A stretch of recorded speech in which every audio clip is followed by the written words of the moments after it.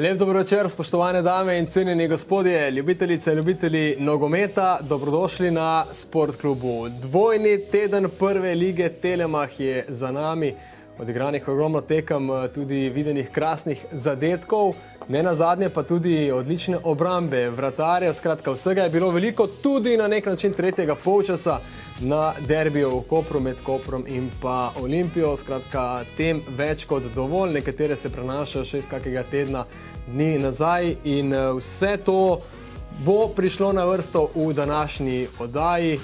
Dejan, pozdrav, kako si kaj? Super, kako si ti? Tudi zelo v redu. Dobre. Zelo ok. A je danes kakšen poseben dan? Vsak, vsak ponedeljek je poseben, uh, ko imamo podprečko. Ko imamo oddajo Pod. prečko. Ampak danes ni samo oddaja pod prečko, kaj je še danes? Danes imamo gosta na video povezavi, gosta v studiu. Danes smo dobro razpoloženi. Res je, ampak eh, vse verjamem, da gledalke in gledalci zelo dobro vedo, eh, katera gosta imamo nocoj, Darka Milaniča in Zlatka Zahoviča. Kmalu ju bomo predstavili, ampak eh, danes je še nekaj, Miha. Imam izjavo za javnost FC Koper, ki so jo poslali pred nekaj A, tudi to? trenutki, tudi to. Aha, Uh, o tem dogajanju, tule, jo preberem kasneje. ok. Še kaj? To je to. To je to. Ja, kako zmelj pride, verjetno. Ja, Damir. Damir Skomina. Sodniški pogled. Me je pred nekaj minutami klical, da se prebija skozi snežni metež eh, z primorske, ampak da bo vse v redu, da bo pravi čas tukaj. Dva gosta z primorska danes. Dobro, ampak Miha, vse najboljše. Hvala lepa. Imam nekaj zate, ti lahko predam. Aha, a to tam glasba ti je že znana. Malo se mi svita. Glej, kaj imam zate. Oh, A boš odprl? bravo, bravo. Veš, da še zadeli ste številko mojo velikost. Opa, zdaj pa ne boš mogel odpreti. Kako lepo glasbo so ti pripravili. Aha, prečko.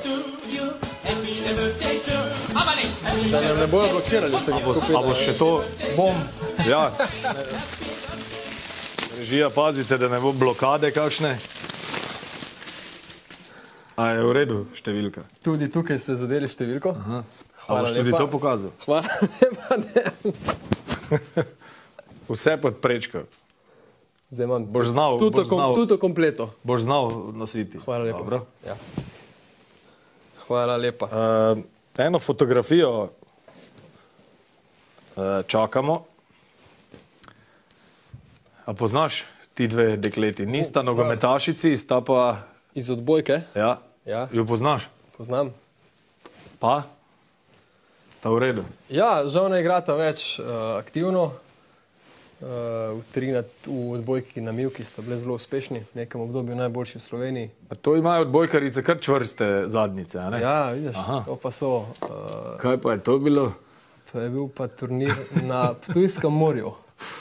A smo se te malo privoščili na to? Ja, dobro, nisem pričakoval kaj drugega. tako da- je bilo- klasično je bilo, našo je oddajo. bilo čvrsto. Ja, odlično, odlično smo se imeli. Okay. Uh, zdaj, da ne boš dobil samo zadeve povezane z oddajo pod prečko, uh, sem razmišljal o tebi in glede na to, da gre za uh, jasno oddajo, ki govori o nogometu, ti prihajaš iz Sežane, rdeča barva je osnovna, tudi nekaj črne, smo ti takšnega Oh. medvedka, rdeče, črnega z vrtnicami, boš kasneje odprl, uh, tudi dali takole za darilo. Just for you, hvala lepa. To ne smem dati naprej, to rekel. to je Za tvoje. Valentinovo drugo leto, zdaj smo že v oddaji pokazali. Pa. To je tvoje. Tako da, Miha, še enkrat vse najboljše. Hvala lepa. Zdaj pa prosim, če Vsem skupaj. tako leganjen predstaviš gosta. Ja, uh, mislim, da imamo danes uh, ne na zadnje enega izmed najuspešnejših slovenskih trenerjev v naši družbi. Z Dejanom imamo in vsi skupaj imamo to srečo, da je trenutno prost, da ima tudi čas. Zato velik pozdrav Darku Milaniču. Dobro večer. Dobro večer, Darko. Dobro večer, Darko. Kar, kar, kar dolgo smo vas lovili. ne? Eh, Pa čeprav ste v Sloveniji zdaj, kaj ne? Zdaj sem, ja. V Izoli. Res je, ja, sem doma. Pa ste prišli danes iz Izole v Ljubljano ali ste Izole. že? Aha, je bilo kaj težav na poti? To ni bila cesta, ni bila najboljša, ma je šlo. Štartaš dovolj Ampak hitro. boljše kot včeraj. Štart, štartaš dovolj hitro in gre. Eh, Verjamem pa, da zelo dobro poznate še nekoga, ki ga imamo na eh, naši liniji, na video povezavi. Eh, moral bi biti z vami v studiu, ampak eh, zaradi zdravstvenih težav smo Zlatka Zahoviča takole ujeli nadaljavo. Verjamem, da ga bomo kmalo videli in slišali. Dober večer, Zlatko. Dober večer. Miha, vse najboljše. Hvala, hvala. Dobrodošli v naši oddaji, Zlatko. Tokrat na malce. Zlatka nisem vajen takole Ja. ja. z očali, kar resno deluje. Pa ni, ni modna muha. Zlatko kot pri uri matematike. Točno. Tako si pripravljena na ostra vprašanja. No, super, nas veseli. Zlatko, jaz verjamem, da bomo kmalo v zadju videli še eno fotografijo. Danes smo malce razpoloženi za te fotografije. Zagotovo jo bo videl tudi eh, vaš prijatelj, nekdani sodelavec, morda tudi bodoči, kdo ve, eh, Darko Milanič. Malo se bova sklonila. Dobro, jaz nisem toliko težava. Se spomnite te slike, te fotografije? Seveda. Gun, top gun. Zlatko v sredini, kot da, igra za, kot da ni igral za Partizan, ampak za Crveno zvezdo, kar se, se baru zgodi. tiče. Se Se zgodi. zgodi na začetku. Zlatko, kaj so vam rekli v Beogradu, ko so videli to fotografijo navijači Partizana? No, moram reči, da, da se imam kar težave, tako kot v vsakem klubu, kadar imaš težave nasprotne ekipe, ampak bil sem mlad in sem z tega dosti naučil. Zlatko, se bom jaz tudi imel težave po današnji oddaji, da, kar se fotografij tiče. Ja, da bi se bil opazil, res. Dobro, malce sem moral vsem skupaj zakuhati. Saj tudi meni eh, kdaj kakšno zakuhajo, ampak bolj me zanima, eh, Darko in Zlatko, kakšni so spomini na te čase. Res sta bila rosno mlada, še vedno sta mlada, ampak tu sta bila resnično rosno mlada, so igralca pri Beograjskem Partizanu, tudi Džonja Novaka vidimo, pa vaše. Eh, Vse verjetno mi ne zamerite, če rečem boljše polovice. Eh, Darko, kakšni so spomini? Lepi, zelo lepi. Samo to. Super smo, ja, super smo se imeli. Mladi smo bili, delali smo to, kar smo delali radi, borili smo se za uh, neko afirmacijo v širšem prostoru. V velikem klubu smo bili res, uh, podpirali smo se, zelo, lep, uh, zelo lepo smo se imeli. Zlatko, kaj pa vaši spomini? Ja, jaz moram biti tiho, tako takrat, ker sem najmlajši.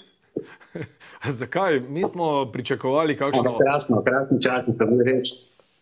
Krasni časi so bili in seveda, škoda, da danes tudi ni Zonija tukaj, ne?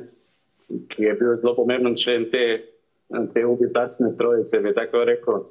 In, ja, resno, resno, bom rekel, v času tega našega odraščanja, moram pa tudi reči, da v pravem klubu. No. Uh, sicer pa kar se Johnnyja tiče, a ne, Miha, sva ga malce že nagovarjala v njegovem lokalu, greva včasih uh, tja na malico, zelo okusno je, Johnny uh, ja. res super, ampak samo še to, da vas zvabimo v oddajo. Uh, Johnny pravi, da je popolnoma izven nogometa in da se zato trenutno ne udeležuje zadev. Vidva sta kaj v stiku z nekdanjim nisem. igralcem? Ne? Ne. Zlatko. Pa Mi dva smo, mi dva smo bila gledali na eni tekmi, reprezentance skupaj sta gledala tekmo. Ja, eh, s Jonijem imamo, mi imamo kar nekaj, mi imamo kar nekaj preteklosti in zelo lepe. Eh, In ja, kadar se srečamo, se, se bom rekel, si zelo lepo in uh, lepo je srečati stare, stare soigralce, soborce so, so in se nekako spominjati tistih prelepih časov. Ampak nihče od njiju, Miha, pa noče nič kaj konkretnega, kar se kakšnih anegdot tiče iz črno-belih časov Partizana izdati. Je to takšna eh, skrivnost ali trenutno nič ne pade na pamet? No, dobro, veš kako je, ko si, ko si dolgo skupaj, potem je anegdot kar nekaj. Ne? Zdaj pa res, res nisem pripravljen na to. Ta slika me je šokirala, ker smo bili res že takrat tako modno osveščeni, da je prav lepo videti. In, uh, Zdaj se ta bilo, moda, ne. ponavadi pravijo, da se moda vrača. Tako, ja. tako da nam fali ta kravata, vsaj meni. Zlatko, kaj pa vaši spomini? Recimo takrat sta oba delovala pod eh, vodstvom Ivice Osima, zdaj žal pokojnega stratega, ampak eh, vsi vemo, za kakšnega trenerja je šlo. No, kot prvo, jaz imam kar nekaj anegdot, ampak sem rekel, bil sem najmlajši in sem jim moral biti tiho, tako, tako da zdaj tudi bi nadaljeval z, z tem, da ne govorim. No, Kaj se pa tiče, kaj se pa tiče Ivana Osima, res je, on je bil ena avangarda v, v, teh naših prostorih in evropskem nogometu. Imel idejo več, videl je korak, dva, tri naprej. Enostavno nam je dal neko, nekaj, kar je bilo zelo, zelo dobro in dobro, dobrodošlo mm, za, za nadaljne karijere in vso, vso tisto znanje, ki smo mi upijali pod njim, smo nekako izkoriščali to v naših evropskih pohodih in nam vsem prav prišlo.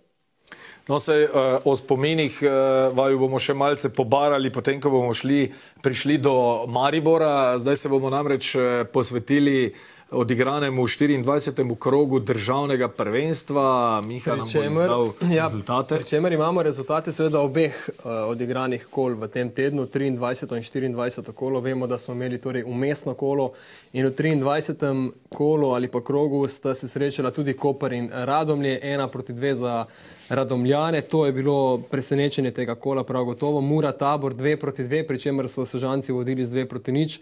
Celje Bravo 2 proti 1, Olimpija Gorica, najprej vodstvo Gorice 1 nič, potem Olimpije 4 proti 1, v sodnikovem dodatku je Gorica prišla do svojega tretjega zadetka in pa domžale Maribor ena proti ena. A opaziš, da so vsi zadeli v 23. krogu? Res je. Da, je skoraj, eh, da so padli skoraj štirje goli v poprečju na tekmo, ampak povsem drugače je bilo že dva, tri dni kasneje. Sploh na začetku. Videli smo v soboto Bravo Mura nič nič in pa Kalce Radomlje tabor nič proti nič, to je bila, to je bila borba neposredno za obstanek. Koprčani so v črnem terminu izgubili na domačem igrišču z Olimpijo, iz te tekme se repi še še danes uh, malce vlečejo in glede na vse, kaj se dogaja, mislim, da se bodo še v prihodnih dneh, ampak o tem več kasneje. Maribor je odpravil celje v nedeljskem derbiju, Gorica pa je doma izgubila z domžaljami. Domžale so po porazu v prvem kolu ujele pravi ritem. Kaj je to bolje reči, da so tri ekipe zadele ali da jih sedem ni? Da so, prvo, tako, da so tri ekipe zadele na zadnjih treh tekmah. Uh, kako izgleda lestvica po 24 kolih, vse skupaj izgleda tako, da imamo na vrhu Olimpijo 57 točk, Maribor 43, potem pa celje. Domžale so skočile zdaj na četrto mesto v družbi Koprčanov, sledi Mura, ki je prva v spodnjem delu, potem pa Bravo, Radomlje, Tabor in pa Gorica. Uh, Pričemer mislim, da gre za eno manjšo napako v lestvici oziroma pri seštevku točk eh, Radomljanov. Uh, ki jih mislim, da nimajo, vendarle, da niso tako blizu Bravo, ki je sedmi, kot je bilo na zaslonu, ampak Radomljani imajo 19 točk. Mislim, da se, ne, da se ne more ja, ja, samo, samo tale napaka. Ja, mi si bomo gledali bolj ali manj se osredotočili na dogajanje v tem vikendu. Uh, malce, kak, kako rekli, tudi na dogajanje v 23 na kolo, ampak 24 na kolo pa vendarle. Najprej, bravo, Mura, Se ja, ja, bomo zdaj pogledali uh, malce, kaj se je dogajalo v Šiški, videli inserte iz te tekme, ki se je torej končala brez zadetkov. Bravo prihaja malce v nevarne vode, samo točka uh, po štirih zaporednih porazih, na zadnjih osmih tekmah tri remi in kar pet porazov za Bravo. Na drugi strani uh, pa mora recimo na zadnjih sedmih tekmah tudi brez zmage pet remijev in dva poraza, lahko bi rekli, pravzaprav obračun ranjenih levov in na nek način, eh, Darko, morda niti ne čudi, ko ekipi eh, nekako iščeta pot iz krize, da najprej razmišljate o tem, da zadetka ne prejmete. Dobro, mislim, da mora biti to nekako v, v, v planu za vsako tekmo. Ne, ne glede, ja, se boriš, je, pa, je pa res, da potem, ko ti, ko ti tako močno gori, mm -hmm. uh, si mogoče še malo bolj previden. Sem, sem pa bolj za to, da tudi če se boriš za Lovoriko, da ti je to tudi pomemben del, enakovreden del napadu. Zlatko, Dejan pravi, uh, ekipe v krizi, ne bravo, mogoče ne, vsaj sodeč po besedah Dejana Grabiča v krizi igre, bolj rezultatski krizi. Uh, za Muro velja verjetno celo eno in drugo. Zlatko. Dobro, ne smemo pozabiti, da oba kluba sta, sta bila nad svojimi zmožnostmi, kar, kar se tiče kvalitete in, in vsega, vsega sportnega dela v zadnjem času, kot se verjetno strinjamo, najsploh za Muro. In jasno je, da pride do paca. Mislim, da je pri Muri to več kot očitno, ampak ne smemo pozabiti, da, da je Mura ogromno menjala, ogromno je menjala tudi eh, kvalitetnih igralcev, se pravi od trenerja do, do Horvata, do uh, Bobičanca, se pravi, to so vse lideri, igralci, ki, ki imajo kvaliteto več, do Koutra, ki je bil njihov lider. Ne? In v tem takem se pri Muri pokaže, pokazalo tisto, kar je vse, vse kar je nogomet pri nas in v svetu in v Evropi, kakorkoli hočete, je. Ne? To pomeni, da ti normalno potem eh, gre za neko stabilnost, jo pomladiš, imaš nek načrt in vsi navdušeni. Vendar, kot goviš, se vse to poruši. Vsa navdušenost in enostavno potem si v enem, enem percepu kaj in kako. In vsi tisti, ki so te razumeli in so te podpirali, enostavno ne razumejo več. To pomeni, da nogomet je rezultat, rezultat in rezultat. Žal.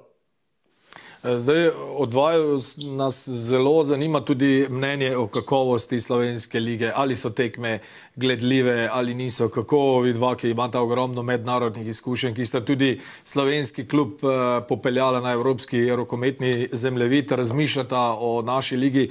Telemah pa bomo najprej eh, samo malce osvežili spomin eh, na eno od izjav stratega Brava, če smo že bili na tekmi med Bravom in Muro, pa poslušali, kaj je povedal. Uh, druga stvar, drugo čustvo, pa malo me na trenutke me je sram. Zdaj jaz gledam, uh, kaj mi, uh, kdo bo gledal take tekme. To se sprašujem. Kdo bo to gledal? Še teh ne, nekaj uh, res gledalcev, ki se jim res zahvaljujemo, da, da hodijo uh, gledati. Uh, drugi strani še tistih nekaj oglednikov ne bo več to hodilo gledati. To zdaj jaz ne vem, nek fair play, športno, športno obnašanje, celo pravičuje sredstva, to se strinjamo, ne, je treba do rezultata prijeti, ampak jaz ne vem, kdo bo to dekadenco še gledal. Tako da uh, apeliram na vse, dajmo vsi dvigant, dajmo dvigant tempo, dajmo dvigant, dvigant uh, atraktivnost lige, ker to ne pele nikamor. Uh, še enkrat pa svojim igravcem pa uh, vse čestitke, karakterno so najmočnejši v ligi, vsi jih imamo radi.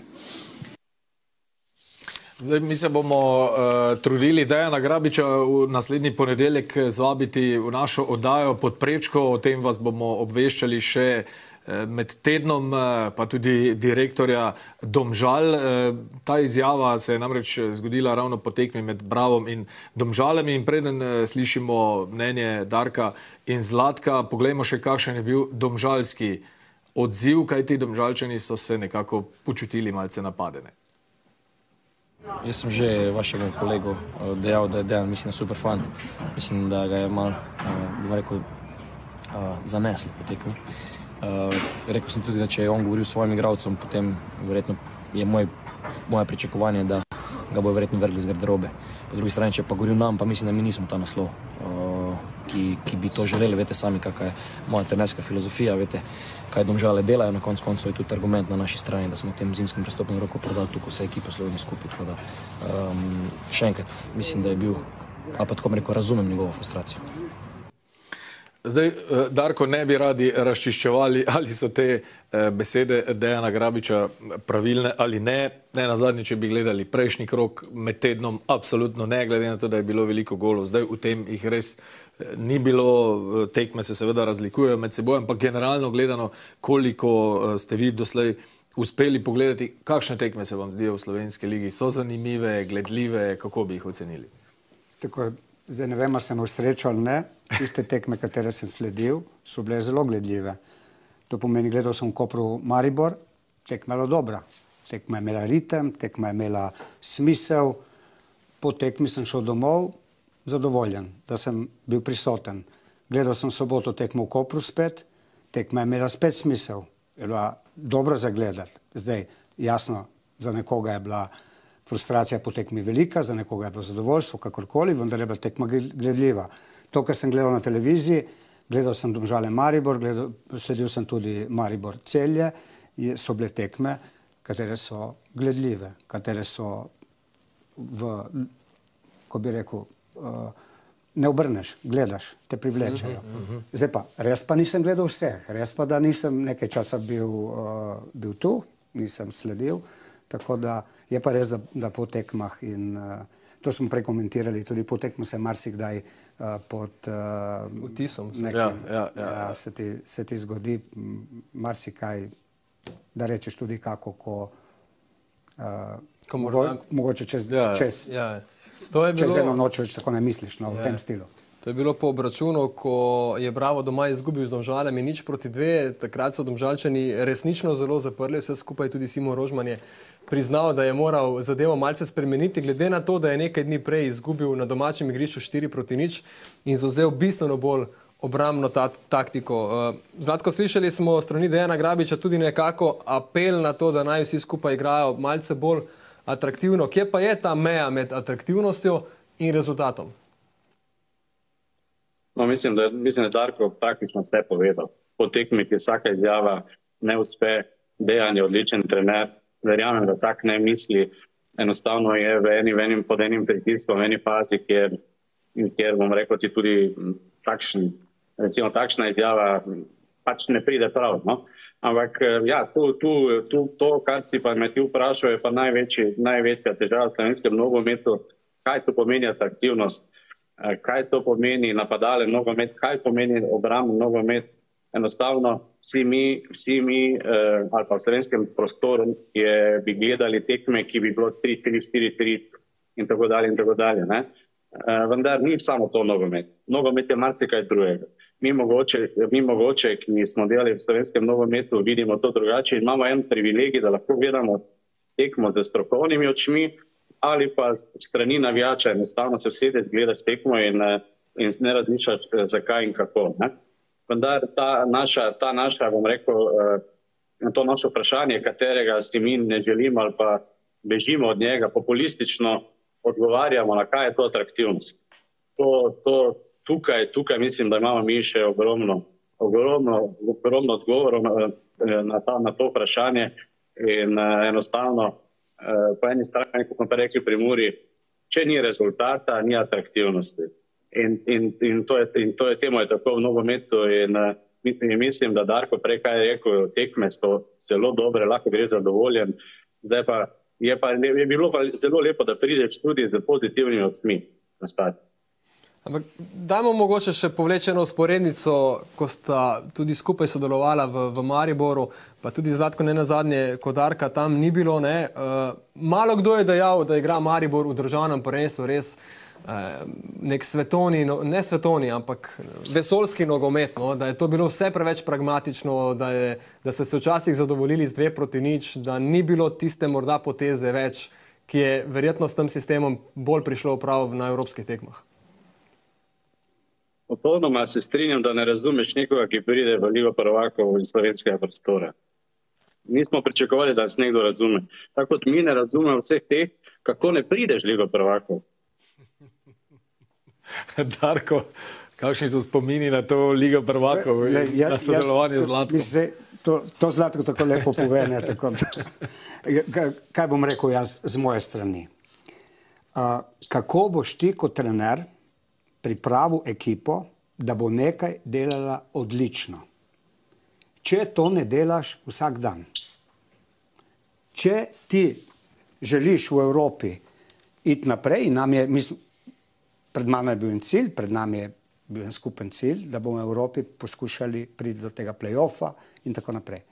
In če do tam želiš priti, moraš nek način delati zelo dobro. In mi smo to delali zelo dobro, ker nam je parkrat uspelo, pa ne samo z mano, tudi, tudi z drugimi trenerji, ki so bili med, kako, kakorkoli za menoj. In, uh, in to, pomeni, da, to, to pomeni, da funkcionira. Zdaj, če, ti, če, če, če ti že, ja, nekaj ti mora biti poligon, nekje ja. moraš to. Mi smo res igrali o, ogromno uh, teh uh, pripravljalnih tekem v Turčiji smo imeli močne nasprotnike, različne nasprotnike, da smo se jim lahko uh, prilagodili, da, se, uh, da so se fanti navadili, da so, da so videli v resnici, kaj zmore, na kakšen način bomo zmogli. In za me je potem, kot trenerje, oziroma za trenerje, je potem težko samo pritisniti na gumb, zdaj bomo pa mi prešaltali, pa bomo igrali na drugačen način, če tega nismo delali toliko kot Uh, ja, ja. Nimaš, nimaš časa svaštariti. Mm -hmm. Jaz se ne bi, ja, pragmatični smo bili, zmagovali smo, osvali smo točke in uh, navadili smo, uh, lestvico smo, neko lestvico smo dvignili in potem je logično, da, da včasih postaneš tudi že malo monoton v teh zmagah in tako naprej. Vendar je po moje to edina pot, da nekaj ponavljaš, da nekaj ponavljaš, da nekaj ponavljaš in da potem vsi skupaj to na igrišču razumejo. Darko, zdaj vas malce bolj razumem, ko sem bil včasih še kot bistveno mlajši, pa smo delali pogovore po kakšni tekmi, kjer ste sicer zmagali, ampak igra ni bila ne vem kakšna, to, kar je rekel Miha, ne vem kakšna za oko, pa ste vi po tekmi rekli, igrali smo fantastično. Moram priznati, da vas takrat nisem razumel, zdaj skušam bolj razumeti, na kaj ste mislili. Vi ste se bolj že osredotočali na neke druge zadeve, iskali neke zadeve, ki vam bodo bolj prav prišle na evropskih tekmah. Mi smo iskali, iskali način, kako bi skozi prvenstvo zmagali. Normalno, pri, primarni cilj je bil zmeraj to, da osvojimo prvenstvo, da bi lahko potem v Evropi uh, nastopali in, uh, in enostavno se skozi, skozi trenažni proces pripravljaš, da uh, dupliraš, da si v, v nekem plitkem bloku, da odlično braniš, da greš kontro po kontro, ker nekega kontinuiranega napada, napadanja in posesti v, v Evropi ni. Lih, lih ni ne vem koliko. Smo potem pa mi, zdaj, zdaj pa je še nekaj, ti imaš profil, profil igravcev, kateri zelo, zelo zadovoljujejo en kriterij, malce manj pa mogoče ta drugi te, te poteze več, nek, neke, neke, neke, nekaj, kar bi navijači iskali. Ne? In potem si normalno, uh, kdo od nas ne bi želel, da bi mi skozi, skozi ta trenažni proces, ki smo ga imeli, ki je, ki je po mojem bil zelo evropski, da bi potem še nekaj dodali, vendar smo imeli smo imeli profil, tak smo ga zbrali z namenom, da bi bili uspešni v Evropi. In potem to, to vse skupaj ni tako, kot bi človek mislil, da ti enostavno pritisneš na gumbek, je danes bo pa ta in ta odigral na tak način in bo, ker mi se vsi spomnimo zelo dobro detaljev, ki so nas pripeljali v Ligo prvakov. In nas ni pripeljala neka petka, neko majstorstvo, ne? nas je pripeljalo nekaj, da je nekdo bil na svojem mestu, pred svojim golom, ko nas je nekdo stisnil. In zdaj to vse nekako povezati v celoto in da ti uspe na tak način, je za mene pohvale vredno. Zdaj pa logično, da včasih ni, ni, ni najlepše. Ne? Eh, Zlatko, prej je Darko dejal, eh, da vi to tako lepo poveste. Tudi Darko je zdaj kar eh, zelo dobro tole razložil, kaj ne? No, jaz sem povedal na svoj način, on pa na svoj, zato pa se dopolnjuje. Jasno. Bila sta pa v enotu. No, veste, kaj je tu problem? Ker slovenska javnost, slovenski oblikovalci javnosti nimajo stika z vrhunskim nogometom. In ne znajo oceniti, kaj je atraktivno, kaj je dobro. In potem uh, sprašujete ljudem, ki imajo 16, 16 lovorik, 3 lige ali pa 2 lige prvako, 3 evropske, kak, kakšen nogomet je igral. Ja, fantastično nogomet. Če pogledamo pa, če pogledamo statistiko, če smo imeli pa vsako leto največ golo, kako pa je to možno? Glejte, le, samo da vam razložim nekaj. Ne? Jaz, sem, jaz imam tak uh, nogometne prebliske in sem šel gledati se, v Sevilijo, Sevilja, Atletico Madrid. In potem Real Madrid so sunali, to je bilo v enem tednu. Zanimalo me je, kako Sevilja z tem proračunom, z enim od najboljših športnih direktorjev, lahko pade v takšno luknjo, da se bori za obstanek in kaj je problem in na kakšen način igra Atletico Madrid in seveda potem poslastica Real Madrid. Ne? In mi je bilo kar precej jasno. In če gledam potem primerjam NK Maribor z, z uh, Atletico Madridom, pa Real Madridom, če pustimo zdaj kvaliteto, taktična kultura, verjamete, da Real Madrid brani nižje kot NK Maribor, tudi v Evropi. Ampak to tam njih ne moti. In seveda, jaz, ko grem na stadion, poslušam, kaj ljudje govorijo. Sploh jih ne moti. Pa plačajo, pa plačajo karto, verjamete, kar nekajkrat več. Ampak imajo stik, imajo stik vsakodnevni z vrhunskim nogometom, ali to na samem stadionu, ali v debatah, ali, ali kakorkoli z ljudmi, ki so povezani s tem in potem drugače razumejo nogomet. Zanimivo razmišljanje. E, gremo še na drugo tekmo, pa bomo kasneje še dodali. E... Ja, mogoče čisto še tako, no, da so res vse bolj eh, glasne tudi govorice, da se v Murski soboti e, pojavlja ideja o novemu trenerju. Aha, Darko, to bi skoraj pozabili. Ja. Veliko vas povezujejo z Muro, e, tudi s kakšnim drugim slovenskim klubom, ali sploh obstaja možnost, da. Eh, se kmalo vrnete v Slovenijo, vas to ta hip eh, sploh zanima ali je vendar ja. aktualna tujina? Bom rekel ta hip, ta hip, ne, ta hip me drži, da bi šel, so mi želje, velike želje, da bi šel v tujino. Uh -huh. v, v lifeu pa je tako, da se lahko že jutri kaj zgodi, vendar, vendar je res prisotna želja ta, da bo malo še potreb, potreb, počakal, no, tako, počakal. Uh, in uh, upam, da se bo zdaj v bližnji prihodnosti kaj zgodilo. Pred trenerjem gori vse posod. Ja, zdaj, takrat, ko ste vi delali v Mariboru, je bil Maribor nekako daleč najbolj ambiciozen klub. Praktično v Sloveniji mu nihče ni prišel blizu. Zdaj se zdi, da je zadeva malce bolj razprošena in da imamo še kar nekaj zelo ambicioznih sredin. Zato me zanima, če morda kje vidite, ne vem, vsaj v bodoče tudi sebe. Ne.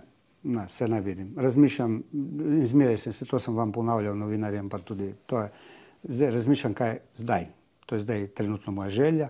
Kaj se bo pa, kaj bo pa prinesli tedni, meseci, bomo pa videli. Trenutno razmišljam samo o tem, da bi šel nekam v tujino. Pa Partizan jemljete kot tujino? Seveda. Ali je preblizu? Ne, Lej, Partizan je, je moj klub in, je, in me stalno pomalem povezujejo.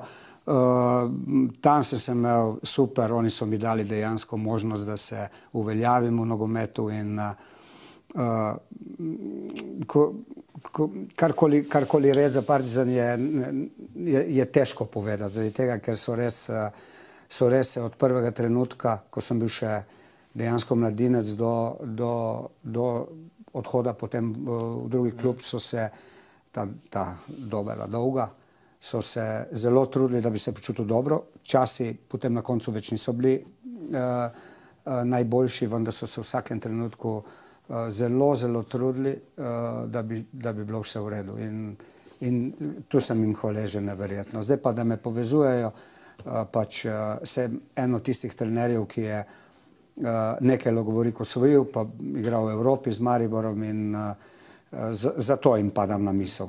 Vse ni prvič, ne? tudi to smo že v preteklosti brali.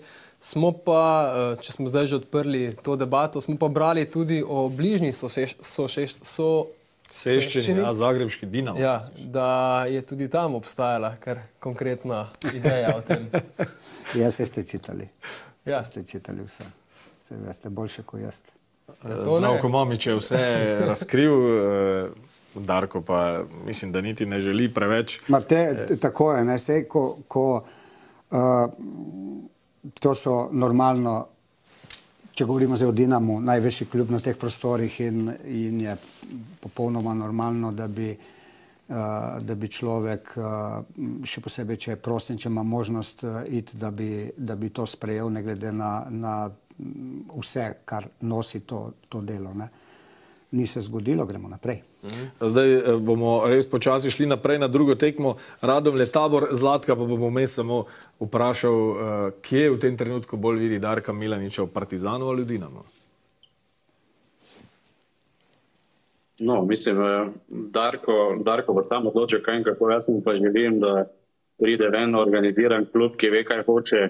Jasno je, da slovenskega prostora zelo težko mi pridemo ven, v eno, eno sredino, kjer kjer imaš ves, uh, ves potencial razvoja svojega, svojega znanja, kajti uh, uh, nismo mi iz, uh, nas je malo, nismo mi iz, iz držav, ki imajo to, rekel, nogometno kulturo, ker nogomet niso samo štiri linije, ampak takrat je nogomet 24 ur in ljudje, ki te okrožajo, so zelo, zelo pomembni, uh, da te pustijo in da, da se ti lahko razvijaš in da ti tiste, tiste trenutke, ki jih ima ekipa oziroma klub v eni, v eni sezoni, dva ali pa tri eh, slabše, da te razumejo in da takrat, takrat eh, enostavno ti stojijo ob strani in da potem to, to gre vse naprej.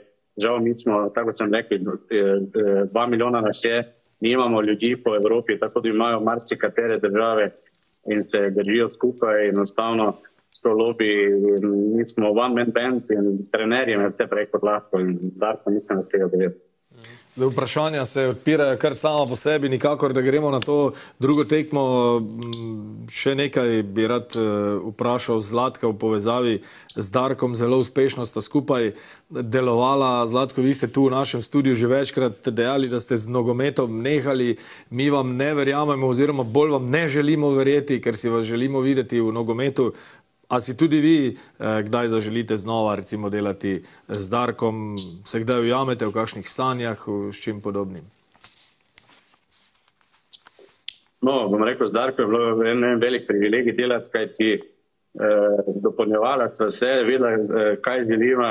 Eh, tako, tako kot eh, že na oni fotografiji.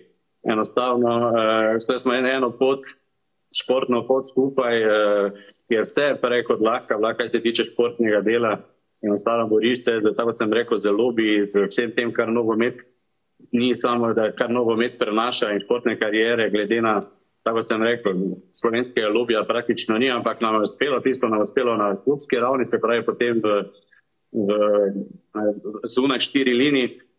In ja, z njim je bilo privilegij delati. Privilegij delati zaradi tega, ker ti uh, uh, Darko ima eno sliko popolnoma, popolnoma napačno in ljudje ne želijo videti, da človek vidi koraka dva ali pa tri naprej. E, jaz to vem in zato bi mi bilo spet, če bi s kom, bi z veseljem videl.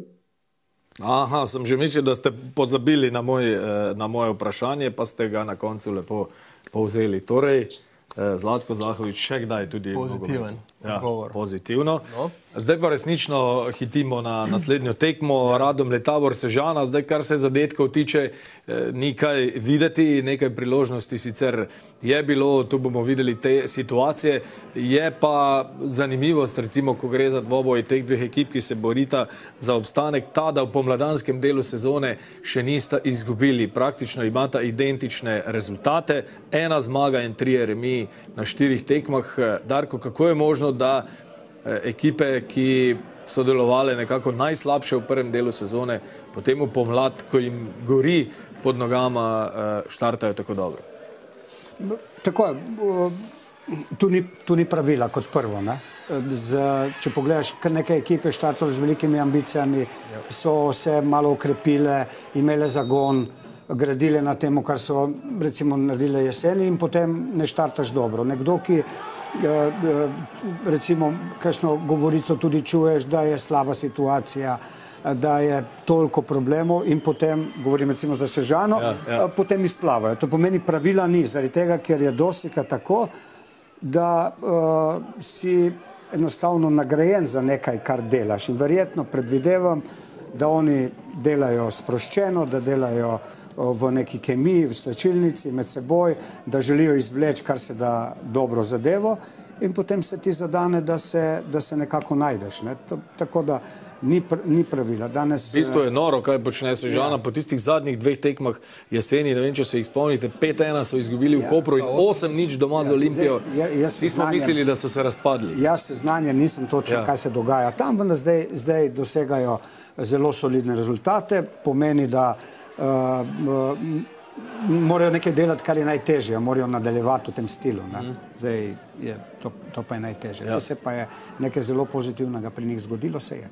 Ne samo Dušanu Kosiču, tudi Oliverju Bogatinu gre dobro z Radomljani, torej zmaga in trije remi, to je mlad. Ja, Oliver čast. Bogatino je postavil na položaj desnega bočnega branilca Leona Severa, ki je igral v preteklosti tudi v Sežani. Uh -huh. Smo ga poznali kot bistveno bolj ofenzivnega nogometaša z idejo, da bo po desni strani skušal malce bolj prebijati uh, linijo Sežancev. Je pa zanimivo, da so po tekmi eni in drugi dejali, da niso niti zadovoljni, niti nezadovoljni. Ostali so tam, kjer so bili, razdelili so si točke ne na zadnje pred Gorico, ki pa je bila poražena v tem kolu, pridobili eno točko. Skratka, to je ta krčevit boj za obstanek, uh, ker se je zdelo, da v tem zimskem času čakajo en drugega, kdo bo prej popustil. Pa so se očitno odločili, da ne bojo, nihče izmed njih. Prej so zdaj ena samo še ostala dolžna uh, informacija. Bravo bo v naslednjem kolu igral proti taboru, Mura pa proti Mariboru. Kar se tiče tabora, ste slišali, torej doma z Bravom, Radomljane pa čaka Olimpija.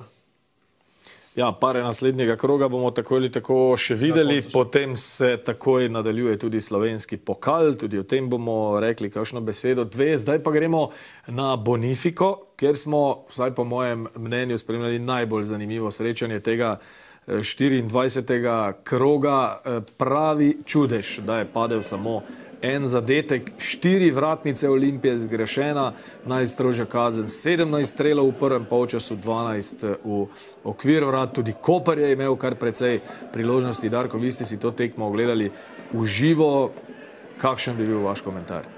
Tako. Divje.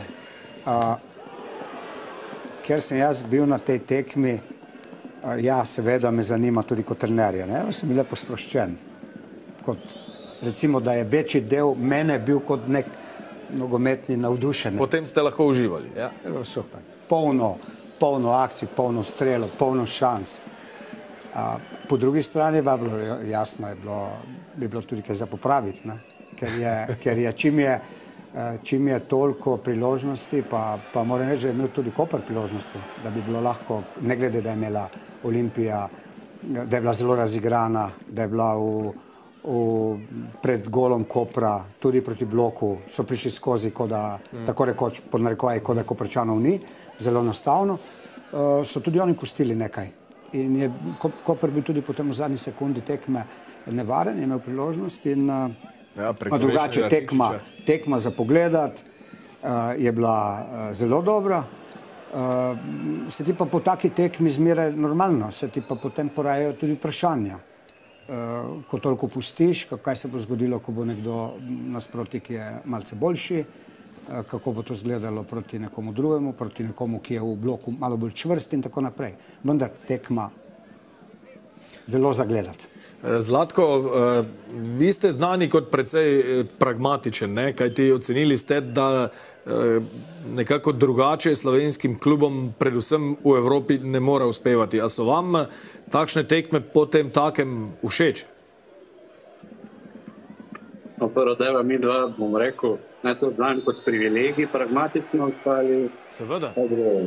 Kaj pa drugega? Kot dejstvo, zlato. Če imate največ lovorik, kaj pa drugega? Ja, dejstvo.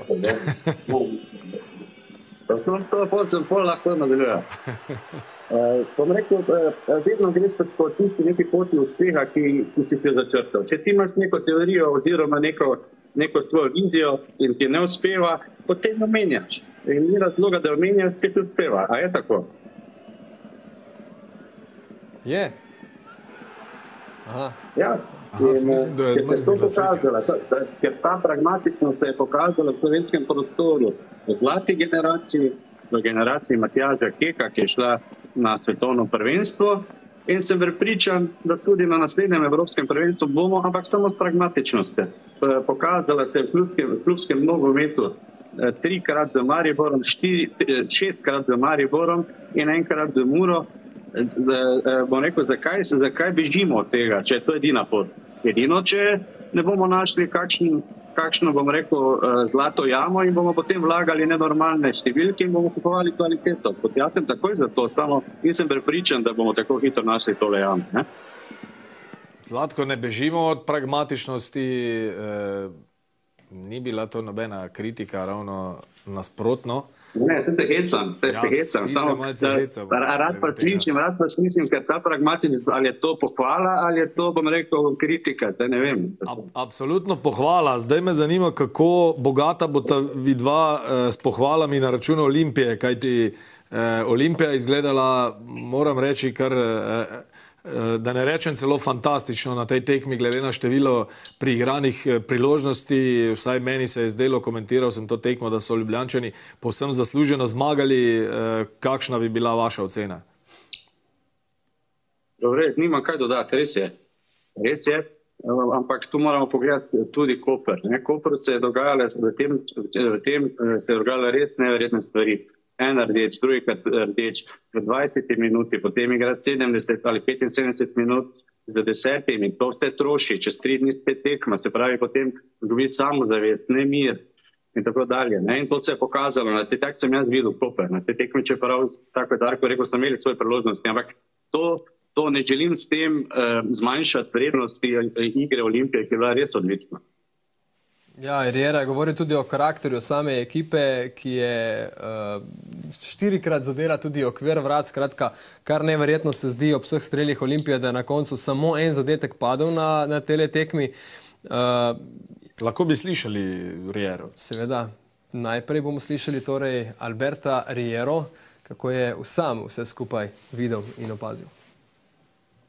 Yeah, but it was hot here in uh, the tunnel between uh, president No, of just- You know each other No, from. president, I didn't see the, the president. For me, I saw the, the, the bench, um, and I'm telling you simple what, what happened. It's just that I was saying that it wasn't possible to see this hand, that the referee is trying to do his job, and that's it. But then I cannot talk with the other bench. From now I know I will not talk anymore. My apologizes to to Cooper and the team because I was talking to them. From now we cannot talk uh, with the other team, and that's it. I just I will take care about my team. I will talk about uh, us, and that's it. Vroče. Ja, zelo vroče je bilo v tunelu in tole se je na nanašalo igrišču, ja. na tisto, kar se je dogajalo na igrišču, ob igrišču in potem tudi v tunelu, eh, kar nekaj zadev, ki morda ne sodijo eh, na in ob igrišču, ampak tudi to se dogaja. Ne na zadnje. Zlatko, tudi vi ste imeli, bom rekel, neko konfrontacijo z Riero nadaljavo. V zadnjem obdobju, v intervjuju za ekipo, ste dejali, da bi bila Olimpija brez vara za Mariborom eh, in tudi o tem smo se eh, pogovarjali z Albertom Riero, pa preden vam damo besedo na to temo, poslušajmo, kaj je povedal strateg Olimpije.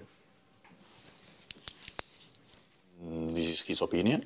Uh, I respect all the opinions. The same when I'm talking, I'm not saying that I'm the only one that who knows or who is right. No, this is just one more opinion. Uh, of course, I'm not really with uh, with uh, with this because um, the only uh, statement from federation it was one mistake that it was against us. So this is the fact. This is the the reality, and this it cost us possibly three points already, and that's why I'm, I'm requesting to, to replay this game because it's the only time that the VAR said that it was um, it was not correct. So the rest, the rest of the action, we can analyze every single one. But at the end, um, as uh, Damir, very intelligent coach, very intelligent person, he said, mm, maybe one game it will give you, another game you will be um, punished. But at the end of the season, the winner is uh, because we are playing 36 games, so it's impossible that all the time they are or they are helping you or the decisions are for you. Sometimes they are also against you, right? So at the end, who will win will decide. So um, not only to talk about only one decision, but the reality and the fact is the only uh, declaration, the only decision that it was wrong, it was against us. To zadnje se je seveda nanašalo na situacijo, ki smo jo tudi že obdelali v naši prejšnji oddaji na derbiju eh, Maribora z Olimpijo, ampak eh, bolj nas Na zanima. offset s kalibracijo, težava. Ja, tako.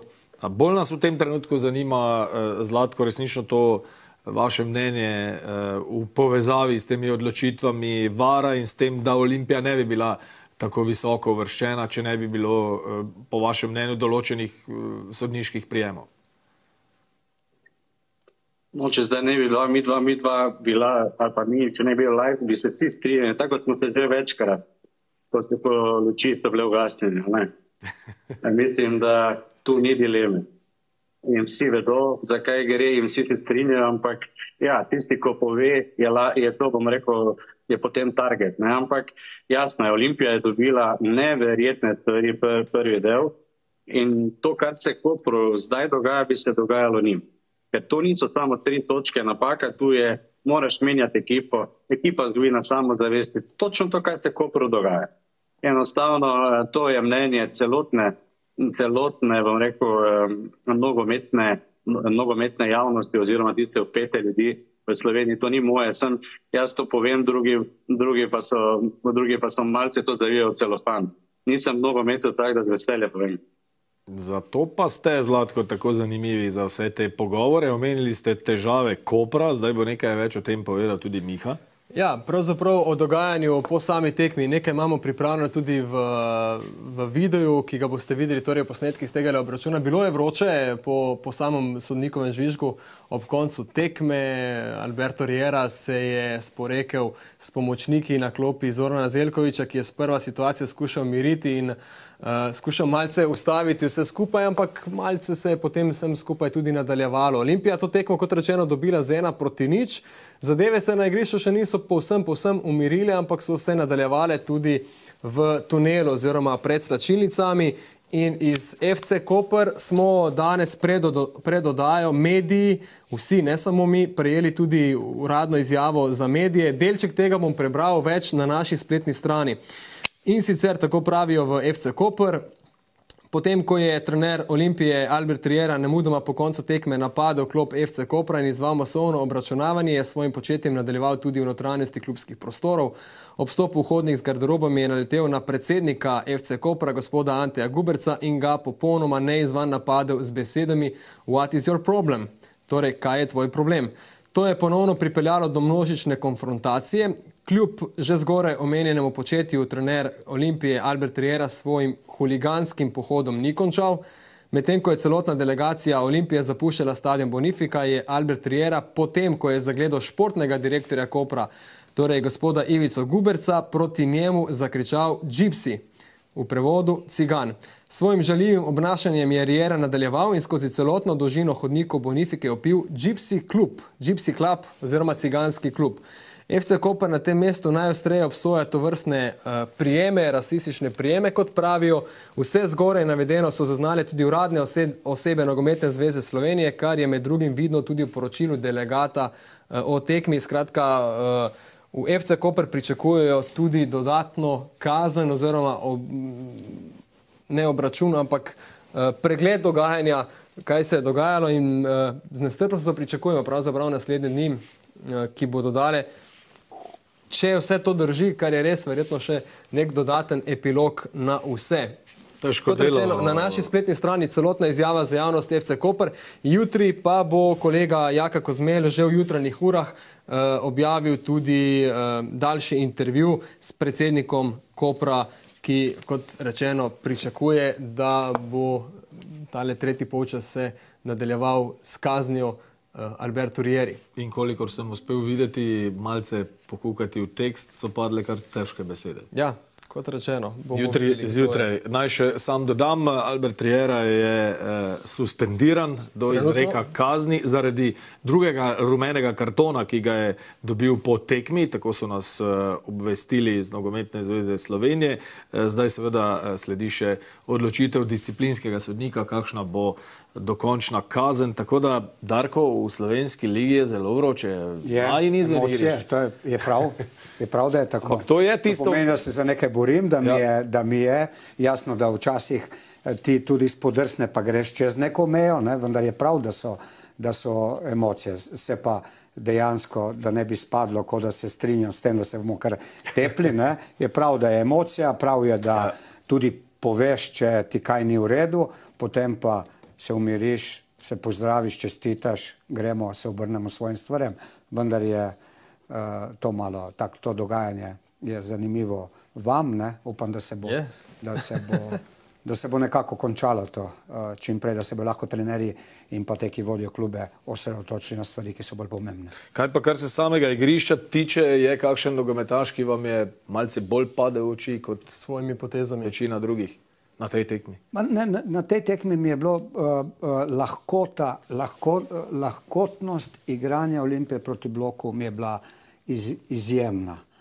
Ampak če bi morali izpostaviti Ma, posameznike. ne, mislim, se to, to imajo, recimo Mali Sešlar je res pokazal, da je, ima izredno dobre rešitve, da, da, je, da je miren, ko mora biti, da enostavno igra, igra zelo suvereno. Fantastično je odigral pri tem zadetku. Ne? Ma ne samo takrat, ne, nekako mi je bila, tako kako oni igrajo proti nizkemu bloku, uh, je bilo res lepo videti. Ampak zdaj bomo slišali, kako je Svit Sešljar doživel to akcijo, po kateri smo videli edini zadetek v 50 minuti.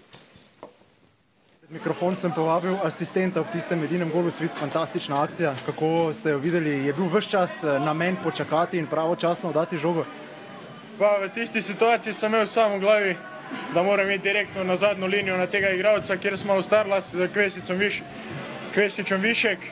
In pol je meni zaprl šut in mi ni ostalo druga, kot da mu podam. On je bil sam pred golom in zadev. Ja, sigurno. Tudi Vidošek je potreboval spet to nulo, da je videl, da je z lahkoto najboljši golman v prvi ligi in sam po to potrdilo je rabo in s pomočjo nas smo mu jo tudi priborili. Zlatko nam je svet padel kar močno v oči, imel je še ene dvakrat zelo, zelo dobre poteze, tudi dvojno so odigrali nogometaši Olimpije in to praktično v petercu, kot v žargonu rečemo. Koprčanov, dobro, neodločnost obrambe, ok, ampak hkrati je potrebno priznati, da je svet odigral fantastično tekmo. Ja, res je, res je. Moja pragmatičnost ga je nekako spoznala že zelo hitro. Ne? Zlatko, nocoj ne boste pozabili Ja, te pragmatičnosti. Ne, pa, pa, pa, vse smo rekli, da bomo se malo tudi pošali, da ne bo vse, bom rekel, tako resno. E, ampak moram reči, da tukaj, tukaj upam, da Olimpija ima te ljudi, ki so v nogometu, je to e, vrhunska akcija, vendar e, bi mi dva imela kar nekaj odgovor, e, prevzami odgovornost in ga zabi ne podaje. Ker v vrhunski nogomet, v vrhunskem nogometu je to zelo otroška, otroška, bom rekel, situacija, katera je lepa in se končala dobro, vendar eh, ko so za resne stvari, ga zabiješ in si na semaforu in to je to prevzemanje odgovornosti. Tako da tu mora še odrasti. A vidiš, Upam, da Miha, bo imel dobre svetovalce. a vidiš, Miha koliko, koliko krat ima Zlatko res neko posebno Ja. mnenje o, o nastalih situacijah, zato je resnično tako zelo zanimiv.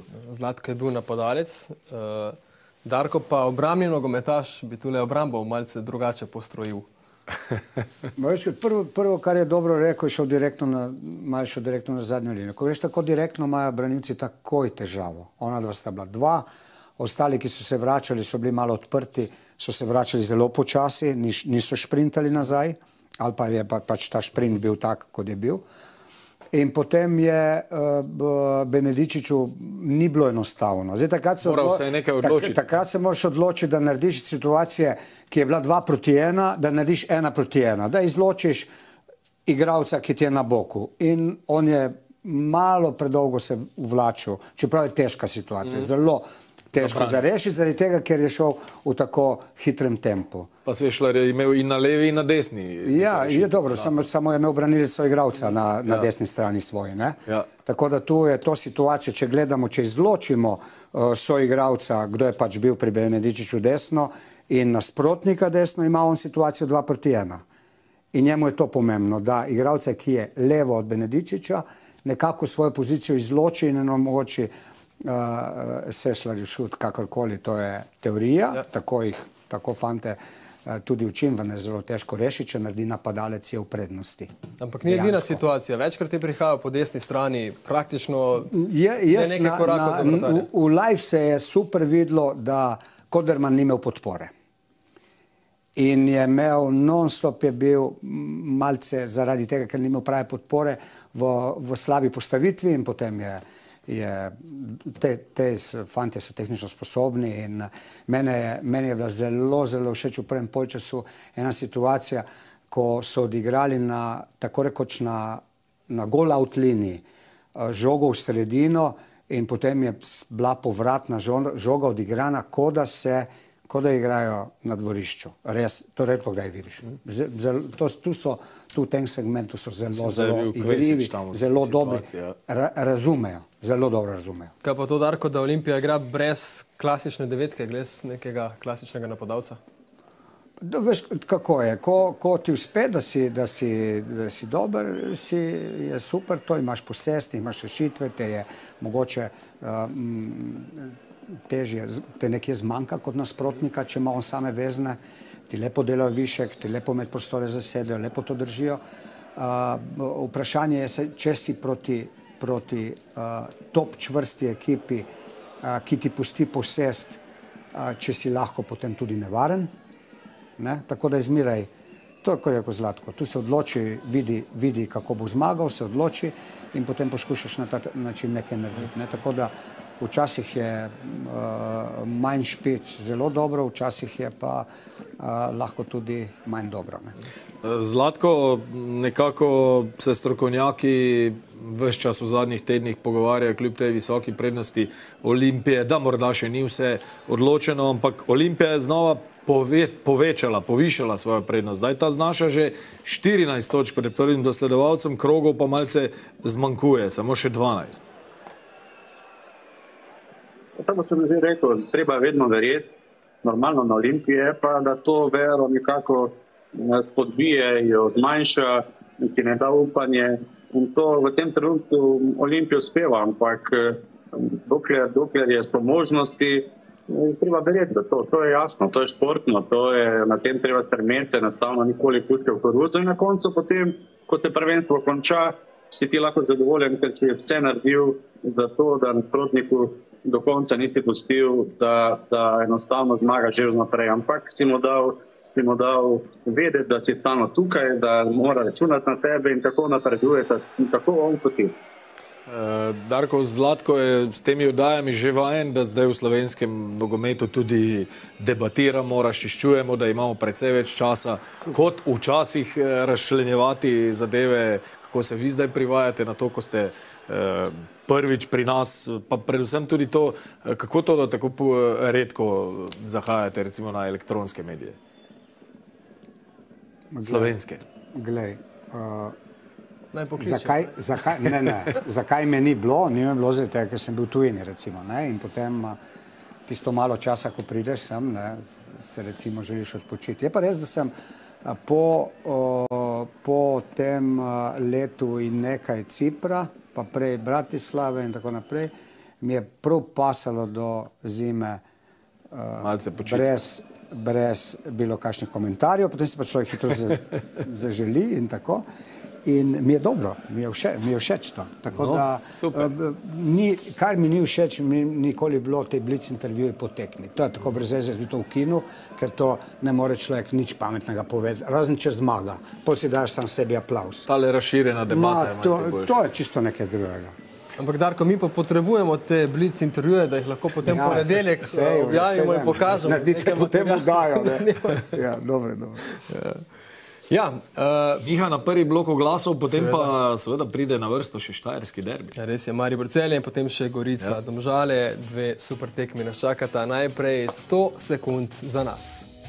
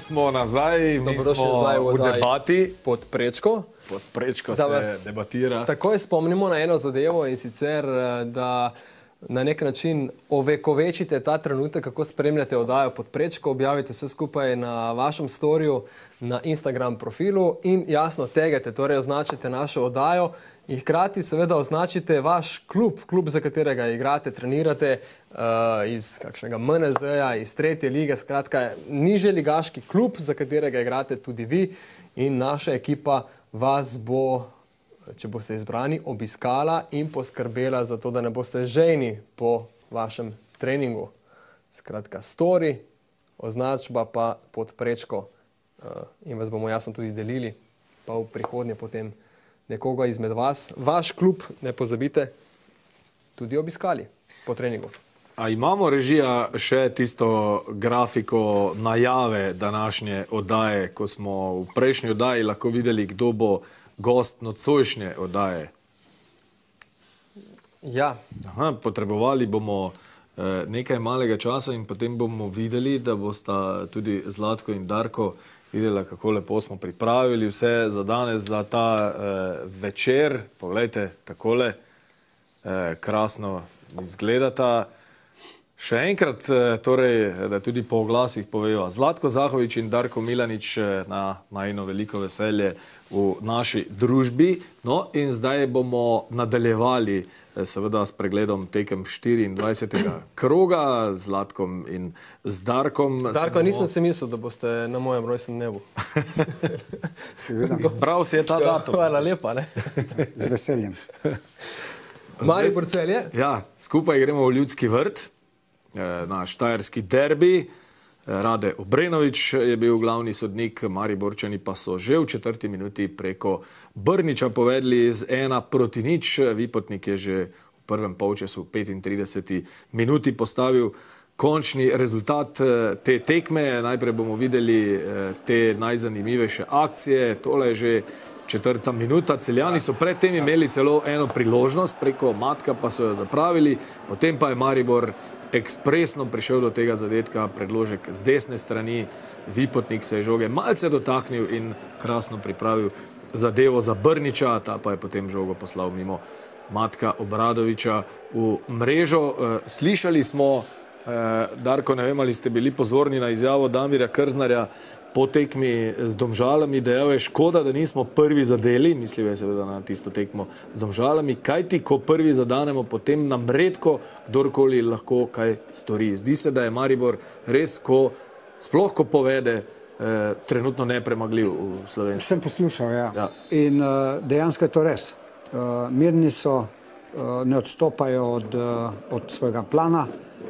Uh, v bloku so opustijo ti, da, da misliš, da si tu in potem te kaznujejo. In tako je bilo tudi na tej tekmi. Ker celjani so dobro po doseženem zadetku Maribora prvem skušali nekaj ja. odigrati, se ja, vendar imeli niso- priložnosti. Niso, v, niso dejansko prišli v konkretne situacije, vendar so poskušali skozi posest uh, uh, priti do nečesa. Maribor je pa tu miren, zelo miren, dobro zgledajo, dobro stojijo in grejo v pol kontro, kontro, grejo zelo dobro. In potem je sledilo tole, kar smo videli, še drugi zadetek. Imajo pa v svojih vrstah preprosto nogometaša, ki je trenutno resnično nezaustavljiv. Žana. Ja, ja v, v, izredni, v izredni formi je, dela, uh, dela uh, stvari, ki so tako na izgled enostavne, vendar niso, ker so gibanja pravočasna, ker je timing dober, ker ponavlja dejansko, m, vsi vejo, kaj on počne. Sej, nasprotniki ga analizirajo, uh -huh. vejo, kakšna gibanja dela, vejo, kje je najbolj nevaren, vendar je pravočasen, uh, so igravci ga zaposlijo kvalitetno in m, je tako rekoč uh, vsaka situacija, v kateri je, je gajba, je do, ja. dobro zgleda, dobro zgledajo. Kar 11 zadetkov je dosegel v zadnjih sedmih krogih. Zlatko, vključite se še ti- vi malce v tale pogovor eh, v povezavi z Žanom Vipotnikom, eh, prvim strelcem lige 14 golov. Ja, vse bomo kasneje videli tudi te eh, njegove situacije. Jaz predlagam režiji, da nam ob tem, ko eh, počasi se končujejo tile, tile vrhunci tekme med Mariborom in celem, pripravi tudi zadevo. To je, mislim, da gre, gre že za te posnetke Ja. ja. Žana Vipotnika, tudi sedem, na sedmi tekmi zapored je zabil. Uh, Neverjetno, ne. Jožeta Benka in pa Luko Zahoviča zgori na sedmih tekmah zapored, zdaj lovi uh, Škaperja, ki je zabil osemkrat zapored, Fajč pa takrat v Murski soboti enajstkrat na dvanajstih tekmah. Skratka, dejansko prišel med rekorderje tudi Žan Vipotnik. Uh, Zlatko, prebral sem, da je Žan Vipotnik, eh, tako ste rekli, še iz vaših časov, ko ste še bili vi v klubu. Takrat je bil resnično zelo mlad, ampak vseeno ga poznate. Ja, v tistem času, pač, ko sem sedel v Ljudskem vrtu, je naša skavtska služba zaznala njegov potencial in seveda eh, ni bilo kam drugam kot Maribor, jasno, največji klub, eh, ki ti, ki ti dopušča naj, največji razvoj v tistem času in to ni presenečenje, to ni presenečenje, kaj ti fanti ima neverjetno statistiko že v, mlajših kategorijah in uh, tukaj treba povdariti celotno delo strokovnega vodstva, ki je ki je enostavno ekipi dal red in z tega reda je pol nastajalo vse to, kar je, kar je nastalo trenutno Denka Maribora, kar mene zelo, zelo veseli. Uh, mislim, da je to pravi Maribor, Maribor samozavestno, ampak vse gre iz reda. Taktične kulture ne vidim, ne vidim bom rekel, uh, drugega Maribora kot takšnega, zelo podoben Maribor, ali, dar, kot je bil pa v naših časih, se pravi red, eh, ne, indi- ne na individualno kvaliteto, ampak red in iz, te, iz tega reda pride tudi do individualne kvalitete, se pravi totalno spoštovanje taktične kulture. In to Maribor danes dela odlično. Ne smemo pozabiti, da eh, ima, ima v vratih juga, ki to odbrani, točno v tistem trenutku odbrani, ko ekipa nasprotna še ima kakšno upanje in potem je tekme konec. Ali je to v peti minuti ali v 70 minuti. In to je Maribor. Zlatko, se bi še kasneje tudi o Mariboru na splošno kakšno rekli in eh, njihovi formi trenutno, ampak če še ostanemo pri Žanu Vipotniku, glede na to, da spremljamo te posnetke, eh, razumel je, da mora iti na posojo, da dobi minute. Igral je celo v drugi ligi in zabijal za Triglav. Tudi v letošnji sezoni še zdaleč ni bil predstavljen kot prva špica Maribora. Roko Baturina je v nekem momentu padel v slabo formo, ni zabijal in takrat je Žan izkoristil svojo priložnost. Pomembno je biti tudi potrpežljiv kljub mladosti. Sigurno. Mislim, da, da mladi fanti, ko greš na posojo, kateri sem tudi sam bil dvakrat, eh, mnogi, mnogi to spremijo kot neko kazen, namesto neko napredovanje, da dobi metotaže, da dobi kilometrino, da naredi vse, da na tej posoji pride boljši in se začne boriti za prvo ekipo enega NK Mariborja. Mislim, da on ima eh, ta potencial eh, intelektualni, da kamorkoli pride, ve, zakaj je prišel in ve, kaj mu je cilj. To je enka Maribor in, in to so, uh, to so rekel, rezultati njegovega razmišljanja in dela. Ja, Zlatko je moral po prihodu Partizan v Proleter v Zrenjanin, če se prav spomnim. Eh, Je tako, Zlatko? V Petri V Petrinju, v mladost. je bila Pa- tretja liga takrat. Aha, pa potem Proleterju. In to z veseljem, z veseljem. Cilj je, cilj je pa bil svet. Bom rekel, partizani in to, to ti potem na koncu speče, da javne stoji in če prideš tja, ker nimaš istih pogojev, ki jih imaš takšnih klubih, odkot prihajaš, in nimaš iste, nimaš istih uh, igralcev, kvalitetnih, nimaš istih treningov, nimaš istih pogojev, vendar imaš cilj. Zlatko, vi ste bili v našem studiu, ko Maribor ni izgledal tako dobro, kot zgleda zdaj. Sam imam občutek, da so upoštevali marsikateri vaš nasvet iz te oddaje, zdaj ali bodo to v Mariboru priznali ali ne. Jaz imam tak eh, občutek, osem zmag in dva remija po tistih nesrečnih treh oktobrskih porazih. Maribor resnično izgleda povsem drugače kot takrat, eh, malce za šalo, malce za res si tudi. Eh, vi lastite kaj zaslug za to s temi eh, vašimi nasveti tu v oddaji pod prečko? Ne, ne, ne, daleč od tega, zato ker mi delam več v klubu. Um, jaz si bolj, da s tem sam s tebi zaslugi, da sem držal vsa, vso to, bom rekel, eh, po, post eh, dobro, dobro na svet, post dobre na svete kritikov in ožaljenost njihovo, tako da, ampak nimam s tem težav. Zlatko, kaj pa prodaja Žana Vipotnika, tudi to je bojda aktualna tema.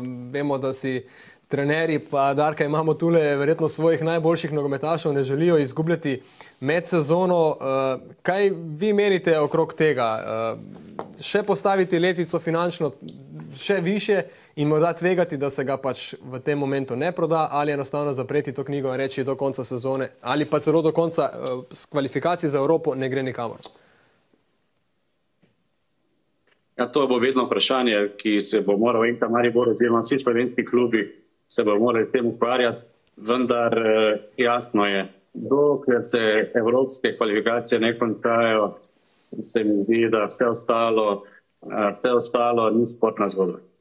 Darko, kako težko bo Damirju Krznarju, glede na to, da vemo, da ste v Mariboru, takrat, ko ste delovali skupaj z Latkom, ponavadi po zimi sestavili ekipo za Evropo, za naskok na te Eh, skupinske dele, bodi si lige Prvako, bodi si lige Evropa. Zdaj se že Mariboru nekaj časa dogaja, da nima po zimi povsem sestavljene ekipe. Govorim predvsem zato, ker sta dva nogometaša, ki sta nosilca igre zgolj eh, posojena, Vipotnik pa tudi ne vem, če bo tako nadaljeval, ga bodo težko zadržali. Kako težko bo v tem primeru Damirju Krznarju znova sestavljati ekipo poleti, ko bodo pričakovanja v Evropi verjetno znova uh, kar visoka, če se bo Maribor na našem, primeru, na našem primeru uh, je bilo jasno, da nam ugaja to, da imamo čas.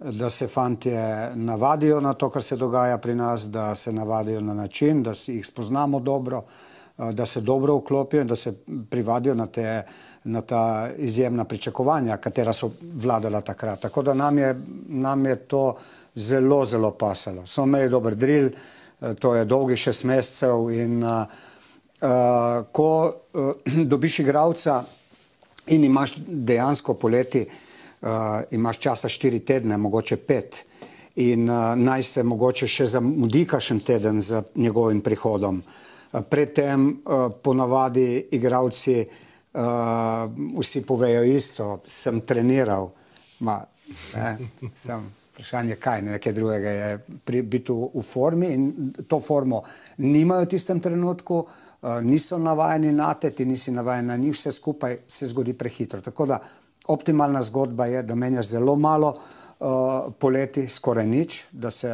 tu skoraj nič ne zgodi in, in da štartaš v Evropo v kadru, eh, kateri je že tu bil, oziroma da nosilci eh, so tu navajeni, vejo, kaj se dela. In uh, mislim, da je to zelo, zelo pomembno, da, da se tudi oni tega zavedajo. No.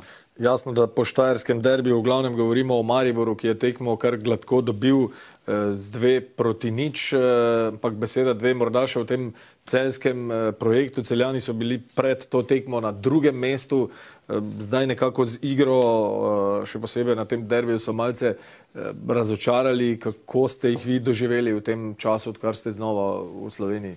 Jaz sem jih dejansko gledal uh, samo to tekmo proti Mariboru. Aha. Maribor je bil na tej tekmi boljši nasprotnik, tako da vendar kljub temu gledamo iz konteksta, da je celje igralo proti močnemu Mariboru, ki je v formi. Jasno. Predvidevam, da, da je celje še zmeraj tu in da bo konkretno v borbi za Evropo. Konkretno. Dejansko na, na kader, na to, kako izgledajo, mislim, da mm, bi to moralo vse skupaj biti dovolj uh, za tretje mesto.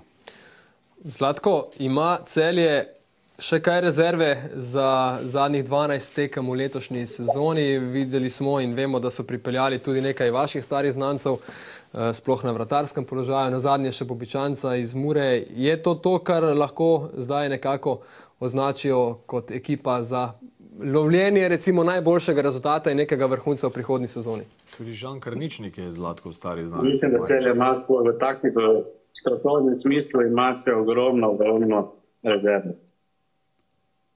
Ogromno rezerve, ekipa igra dosti na individualno kvaliteto, dosti zaupa trenerji igralcem, da bodo to sami rešili, eh, kar pa nisem prepričan, da so oni to sposobni v kontinuiteti. ena napad na en na Lovoriko, kjerkoli pa tudi v Sloveniji, eh, te, te enostavno prisili, sili, seveda, govori o kontinuiteti, ne na muha enodnevnico, ne. Eh, te sili v točno to, kar igramo mi. Kar igra Maribor. In seveda potem potencijalno in potencijalno Evropa, kar je primarni cilj tudi. Je na korak naprej Evropa in ima ogromno, ogromno rezerv. Tako, tako vidim jaz. V redu. Uh, torej, Maribor cel je na koncu dve proti nič, Brneč in pa Vipotnik streljca, pri čemer je Maribor zdaj drugi cel je na tretjem mestu. In pa še tole, ko smo prej že dejali, Maribor bo igral z Mura na gostovanju, celjani bodo igrali doma z Gorico. In Gorica je naslednji domačin, hkrati tudi zadnji. Gorica Domžale, dvoboj, ki ga je prvi polčas domži, dobila domžalska zasedba z nič ena in drugega ravno tako skupno, torej dve proti nič za goste, Brecel in pa Strajner sta bila streljca. Uh, Goričani so bočno branilca. Res je, ja. In Goričani, ki so se v tem vetrovnem razmerju oziroma vremenskih pogojih znašli tako, kot so se. Predvsem ta recimo šok terapija, prvič tudi brez uh, prejšnjega trenerja Mirana Srebrniča in ni popolnoma uspela. Zdaj Gorica je nekako na zadnjem mestu, Darko, zdi se, da so uh, zamenjali trenerja pravočasno oziroma da bodo označili, kdorkoli pač bo, 12 tekem pred koncem. Če že, verjetno je zdaj še čas, da se določene zadeve krpa. Ne na zadnje, Darko, to okolje z preteklosti tudi Ja, dobro sem pozna. tam, jaz sem tam, tam Ja. ja. delal eno leto po, po tistem času, nekako, ko je Gorica bila res uh, v vrhu slovenskega nogometa, z, z hitom za sabo in tako naprej. To so bili neki drugi časi. To so bili drugi časi, zdaj že kar nekaj časa je um, v Gorici dru, drugačna situacija, v kateri se uh, borijo, uh, celo izpadli so in tako naprej. Uh, jaz se dejansko glede na uh, neko sentimentalno povezanost, uh, zaradi tega, ker sem z Miranom delal in uh, ga zelo spoštujem in je toliko dobrega naredil, se ne strinjam, da je bil to zdaj pravi čas. Zamenjava. Jaz se ne strinjam. Darko, ja. Da je na mestu njega še en vaš stari znanec vodil ekipo. Ne? Tako da, ja. Florian Debenjak. Ja, vse, tako da ne, ne, vidim tu, ne, ne vidim tu pravega, pravega smisla. Uh, smo imeli čas to narediti, če je potrebno, malce prej, Ja, ja. pa spoznati neko novo delo, pa po- spoznati nove ideje. Zdaj je tekma za tekmo in Ampak zdaj je, kar je, koliko se vam ta ideja, želijo namreč eh, pripeljati Edija Rejo, zdi smiselna za teh zadnjih 12 krogov, ravno v kontekstu tega, kar ste zdaj omenjali.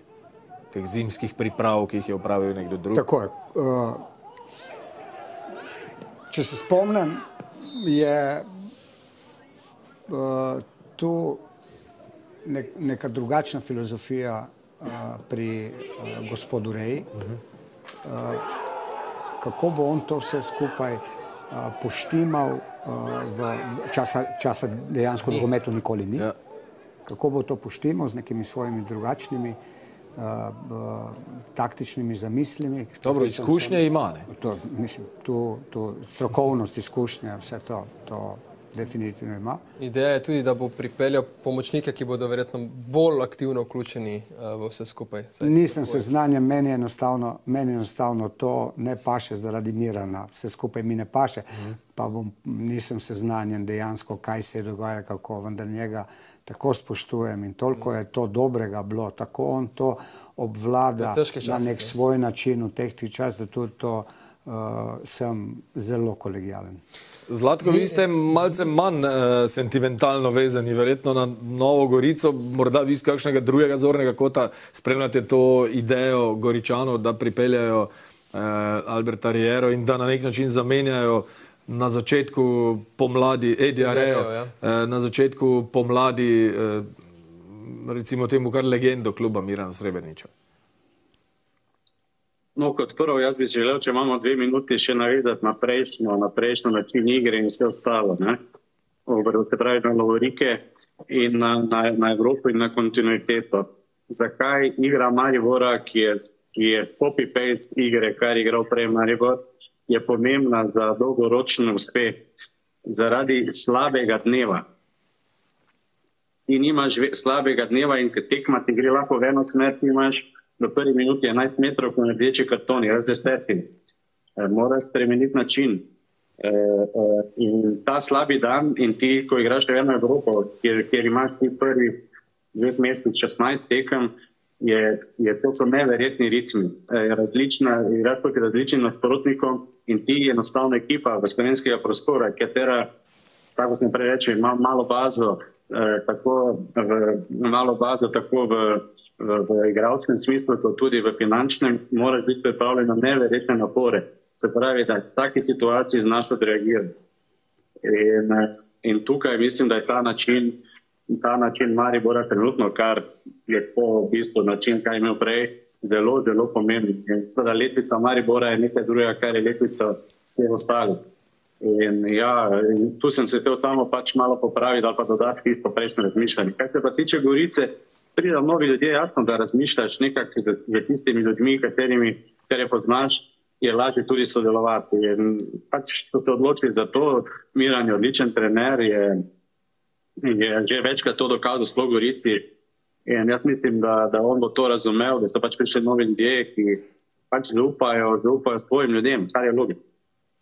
Mi smo pripravili tudi eno krajšo, manjšo anketo o tem, kaj naši sledilci menijo o zamenjavi v Novogoriškem športnem parku, oziroma ne o zamenjavi, o tem, da Miran Srebrenic ni več uh, trener te ekipe, tako da boste zadevo tudi videli. In um, mnenja niso bila tako zelo deljena, kot se nam je sprva zdelo, ampak je Miran Srebrenic dobil kar veliko podporo. To seveda ni vzorec na 15 tisoč in več, ampak vendarle ni bilo slabo, lahko rečemo. Skratka, Goričani so pomahali slovo legendi, pravilna odločitev 24 odstotkov in pa napaka oziroma napačna odločitev 76 odstotkov, pri čemer ima seveda tisti, ki ima škarje in platno v klubu, vso legitimno pravico, da se uh, takšnega takšne menjave tudi posluži. Kolega Jaka Kozmer se je po včerajšnji tekmi v Novogoriškem športnem parku pogovarjal tudi s športnim direktorjem Admirjem Kršičem. Pogovarjala ste se seveda tudi o tem, kdaj bodo Novogoričani objavili ime novega trenerja. In ko boste slišali, je bila najava pripravljena že za danes, ampak danes je iz Gorice prišla informacija, da ne bo še nič z novim trenerjem. Poglejmo si celoten pogovor. Ja, res je. V četrtek se je uh, pač vodstvo odločilo, da uh, moramo nekaj spremeniti, da se poskuša normalno, kot je to v nogometu, nažalost naj, najprej ceno plača trener. Uh, potem lahko jaz samo rečem, da je tukaj meni kot, kot eni osebi, ki, ki poznam Mirana, ki poznam njegov način dela, ki poznam tudi uh, da je hkrati tudi uh, najboljši, najboljši navijač tega kluba in največji navijač in sigurno njemu je bilo tukaj najtežje. Uh, dejansko v četrtek po sestanku uh, strokovnega štaba smo videli, da je neka energija tukaj, katera uh, ni izgledala v redu. Tako da uh, uh, jaz sem vesel, da bomo z Miranom sigurno nekako, mogoče nek, nekačni drugačni obliki uh, čez čas sodelovali, on sigurno sedaj potrebuje neko, nek počitek in uh, naprej do jutri, jutri bomo uh, dokončno uh, se odločili, kako in kaj naprej, s katerim imenom, neki opciji smo imeli, neki pogovorov smo upravili, tako da bomo videli jutri. Kar se tiče rezultatov v tem drugem delu sezone, pa tudi lestvice, vemo, kakšno je stanje, ampak verjetno tudi v luči te trenerske menjave ne mečete puške v koruzo, Gorica z novim trenerjem, verjetno še bolj odločno v borbi za obstanek. Pa sigurno, začetek sigurno ni tak, kakšnega smo si želeli. Uh, moram reči, da smo v zimskem prestopnem roku bili aktivni. Uh, nažalost so igravci, kateri so bili naše tarče, nekako do konca prestopnega roka neodločni. Uh, priključili so se nekako pozno, vendar vseeno jaz verjamem, da smo sestavili konkurenčno ekipo in z imeni, katere se ne bi stramovala niti Olimpija in Maribor, po mojem. Tako da je samo pomemben trenutek, dobiti ta trenutek, ko se bo ekipa dvignila in zdaj trenutno smo sigurno nezadovoljni z stanjem na lestvici, ampak kot rečeno, na roko nam niso šli tudi drugi rezultati. Tabor, Radomlje, so štartali zelo dobro, vendar za nas ni nič izgubljeno. Jaz še zmeraj sem optimist, jaz še zmeraj upam, na, na, da se ustvari čim prej neka pozitivna energija in da uh, pridemo, pridemo na tista mesta, ki nas bo obdržala v prvi ligi.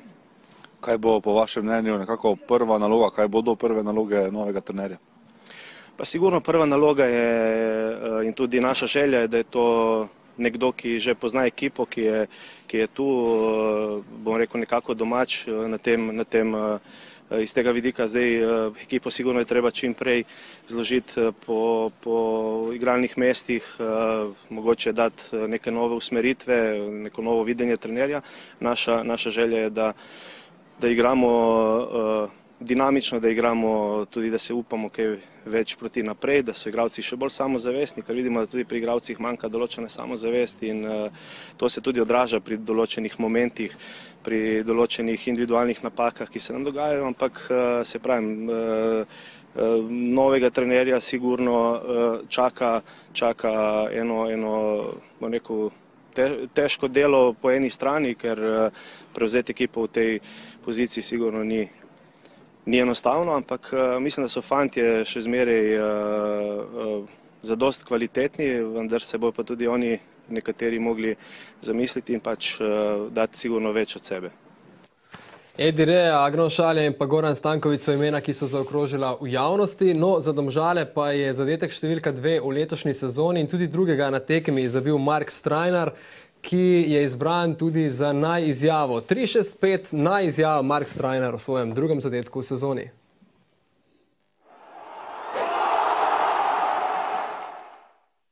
Zdaj, kako je akcija potekala, videl sem repas, je sam dubu žogo. Rekel sem, to moramo teči preprosto, ker uh, je bila res lepa šansa. Na redu, uh, na srečo lep spravim in pač uh, tudi lep zaključek, vedovi kot. Tako, torej še tole, kar se tiče Gorice in pa Domžal. Zdaj nas čakajo priljubljene rubrike, rubrike ker uh, si pogledamo tudi vse najzadeve iz tega in pa tudi minulega uh, tedna. Najprej tri glav, naj gol, kaj ste izbrali?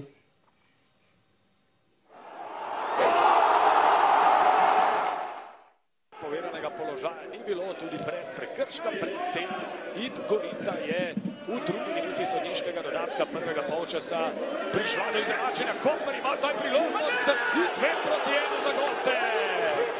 Rudi Božek Vancaš.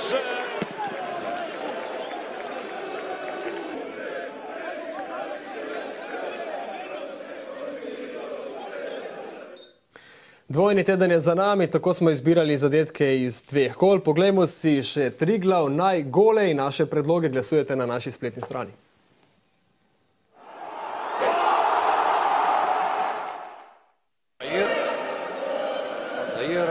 Začetni postavi, kakšen gol. Ena proti ena, Eurogol Altairja, 12. minuta, Olimpija do izenačenja. Super zadetek, čudovit zadetek Aldairja. Izjemen zadetek, mislim, da to lahko kandidira za enega lepših zadetkov. Pričakovana terenska premoč Olimpije, Vukič in Suale zdaj Olimpija kombinira, dovolj prostora ima Kvesič, ki se odloči za strel in tudi zadev. 2 proti 1, spet je imel Kvesič preveč prostora in seveda nogometaš takšnega kalibra je to tudi tako izkoristil in Olimpija po zaostanku zdaj že v vodstvu. Ponovno vodcom Jakupovič, Jakupovič, dobra podaja proti Vipotniku, ki je sam. Vipotnik! Šan Vipotnik, ena proti ena. Nadaljuje se njegov strelski šov, 74. minuta in klonila je domžalska obramba. Arnel Jakupovič pa sijajno asistenco. Usmani išče Kovačeviča, Agič ima veliko težav. Kovačevič, krasna miniatura, priložnost za domžalčani gol. Amadej Brecl na najboljši možen način ob svojem debiju v majici domžal. Amadej Brecl je spremljal akcijo in domžalčani vodijo z ena proti nič. Takole, zelo nespretno, Tino Agič, potem ga je poslal Franko Kovačevič po časopis in vse skupaj je izkoristil Amadej Brecel. Tole je bil dober zaključek domžalskega branilca. Toliko o zadetkih, zdaj le pa še Union naj obramba.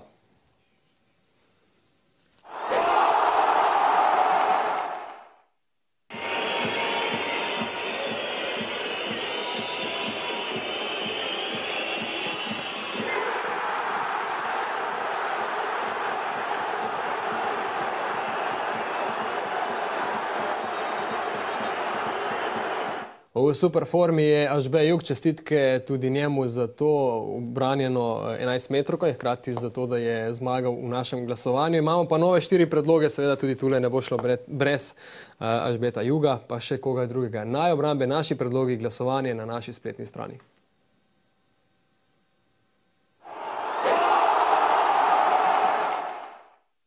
Drobno gledom in tudi zato pravzaprav Muraši morajo danes tole tekmo dobiti. Muraši, ki so napadalno začeli, Maruško je zdaj zaključil, Vravnica ostaja nič proti nič, kakšna priložnost je bila. Z roko Edom Bonija, Kvesič pa zdaj izočevo čez Golovoviča, Kvesič strelja, Golovovič brani! To je tisti črn, v katerem sem govoril glede Marija Kvesiča.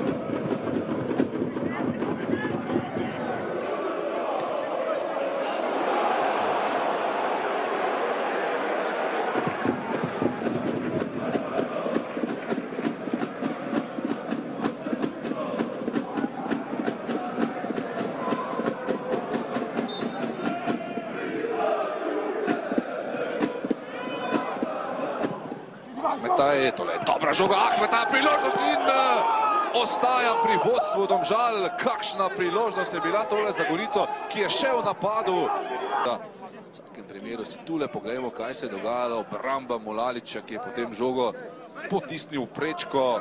Sijajna reakcija domžalskega vratarja. Tule je res skrajnimi napori ustavil tale smer oziroma tale strel Iličiča in žogo preusmeril. Ja, v tem izboru smo izvedeli, ko smo prej videli tisti zadetek Brecla in krasno miniaturo Franka Kovačeviča, da je bil vaš eh, igralec pri Pafosu. Ja, res je. Eno leto sva skupaj delala. Super fant. Super fant. In, in tudi kaže v naši ligi, ja. Da ima kvalitete. Lahko na tekmi ja. proti Mariboru bi jih lahko potopil. Je imel, je imel tri zicere na tekmi. Ja, se je tudi dosegel zadetek. Ja. Res, da iz 11 metrovke. Mi gremo še na oglase, potem pa sodniški pogled z Damirjem Skomino.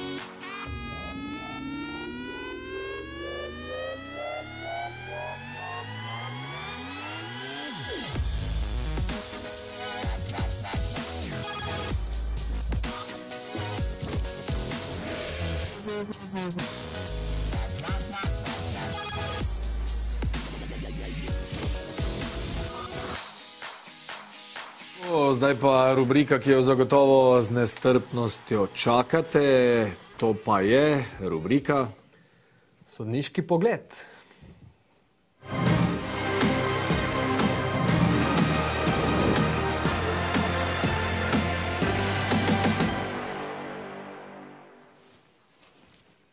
In v sodniškem pogledu imamo seveda dvojno kolo, tako da imamo izbrane situacije iz 23. in 24. kola. Z nami pa jasno Damir Skomina. Damir, Dober dobro večer. večer. Dober večer. Dober večer. Mi bomo šli kar seveda na prvo situacijo. Obenem uh, tudi Zlatka Zahoviča imamo še naprej na, na liniji. Zlatko, če bo kakšna zadeva za se kaj vključiti, imate vse čas odprte možnosti. A zmenjeno? Ja, mislim, da pri Damirju moraš samo poskušati in se učiti. On pa ve. Mi človek kar strinja. Ja. Gremo na prvo situacijo iz tekme z 23. kola. Mura Tabor, 29. minuta je to.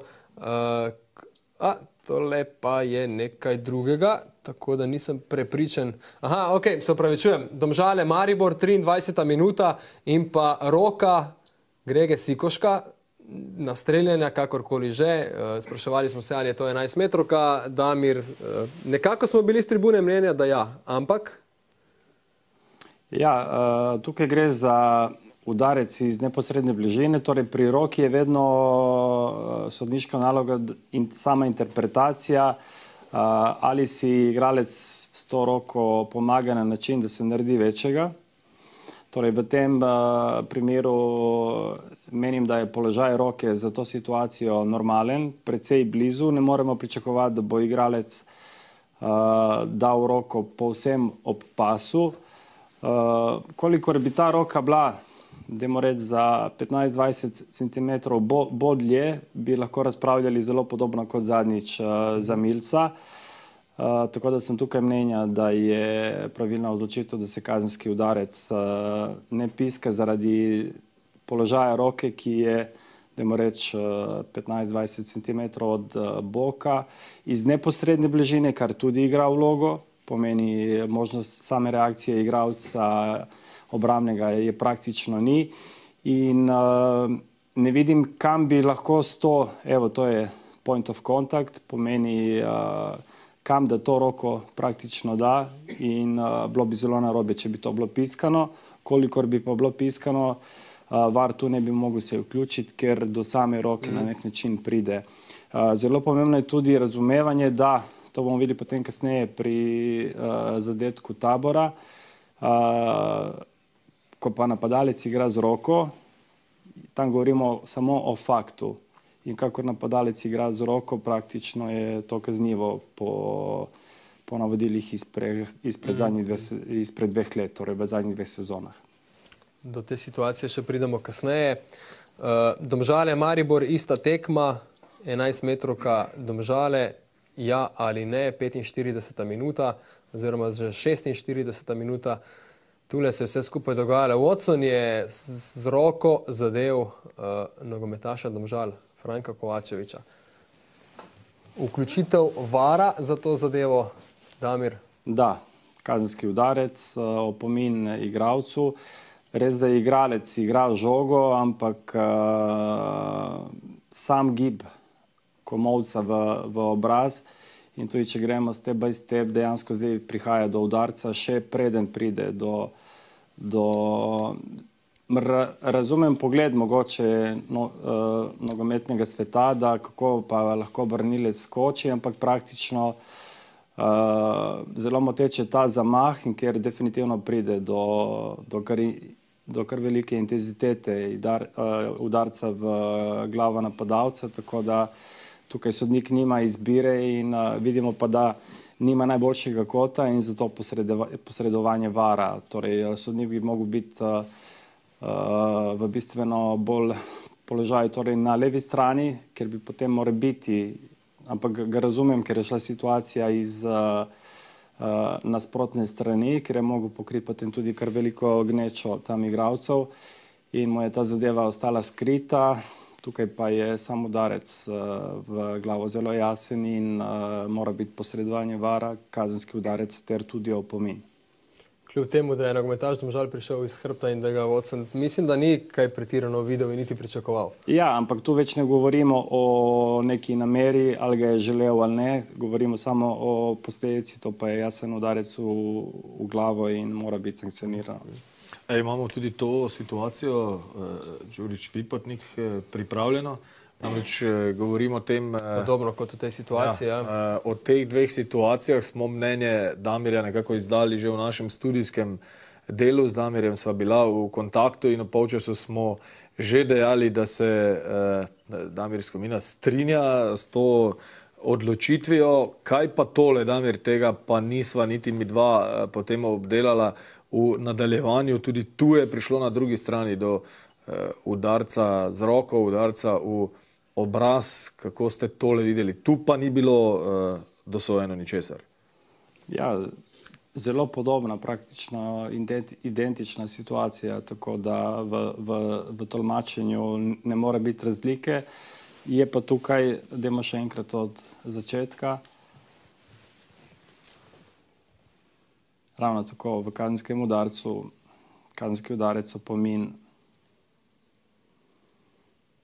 Uh, zelo pomembno je, seveda, da, da je kriterij na obeh straneh enak, ampak to mislim, da, da temu ni tako, tako da uh, je potem tudi, tu, tudi razumljiv nek uh, gnev, ki pride strani klubov, ko dejansko zelo podobne situacije se drugače interpretirajo. Tudi ta posnetek, uh, glede globine same, ali pride do natančnega, torej verjetno niso tukaj imeli ena, uh, zelo jasnega dokaza, kot je uh, torej bistveno boljši posnetek, ki je bil na tisti strani. Tukaj, A zato se var potem ni oglasil? Jaz mislim, da je iz razloga, ker niso imeli uh, z strani dejansko tu so ugibali, ali je ta udarec bil v, v glavo ali pa ga je igralec uh, odigral. Torej, nimamo, tukaj ostaja dvom, uh -huh. uh, ali je s komovcem ga zadev v, v predel obraza ali ne.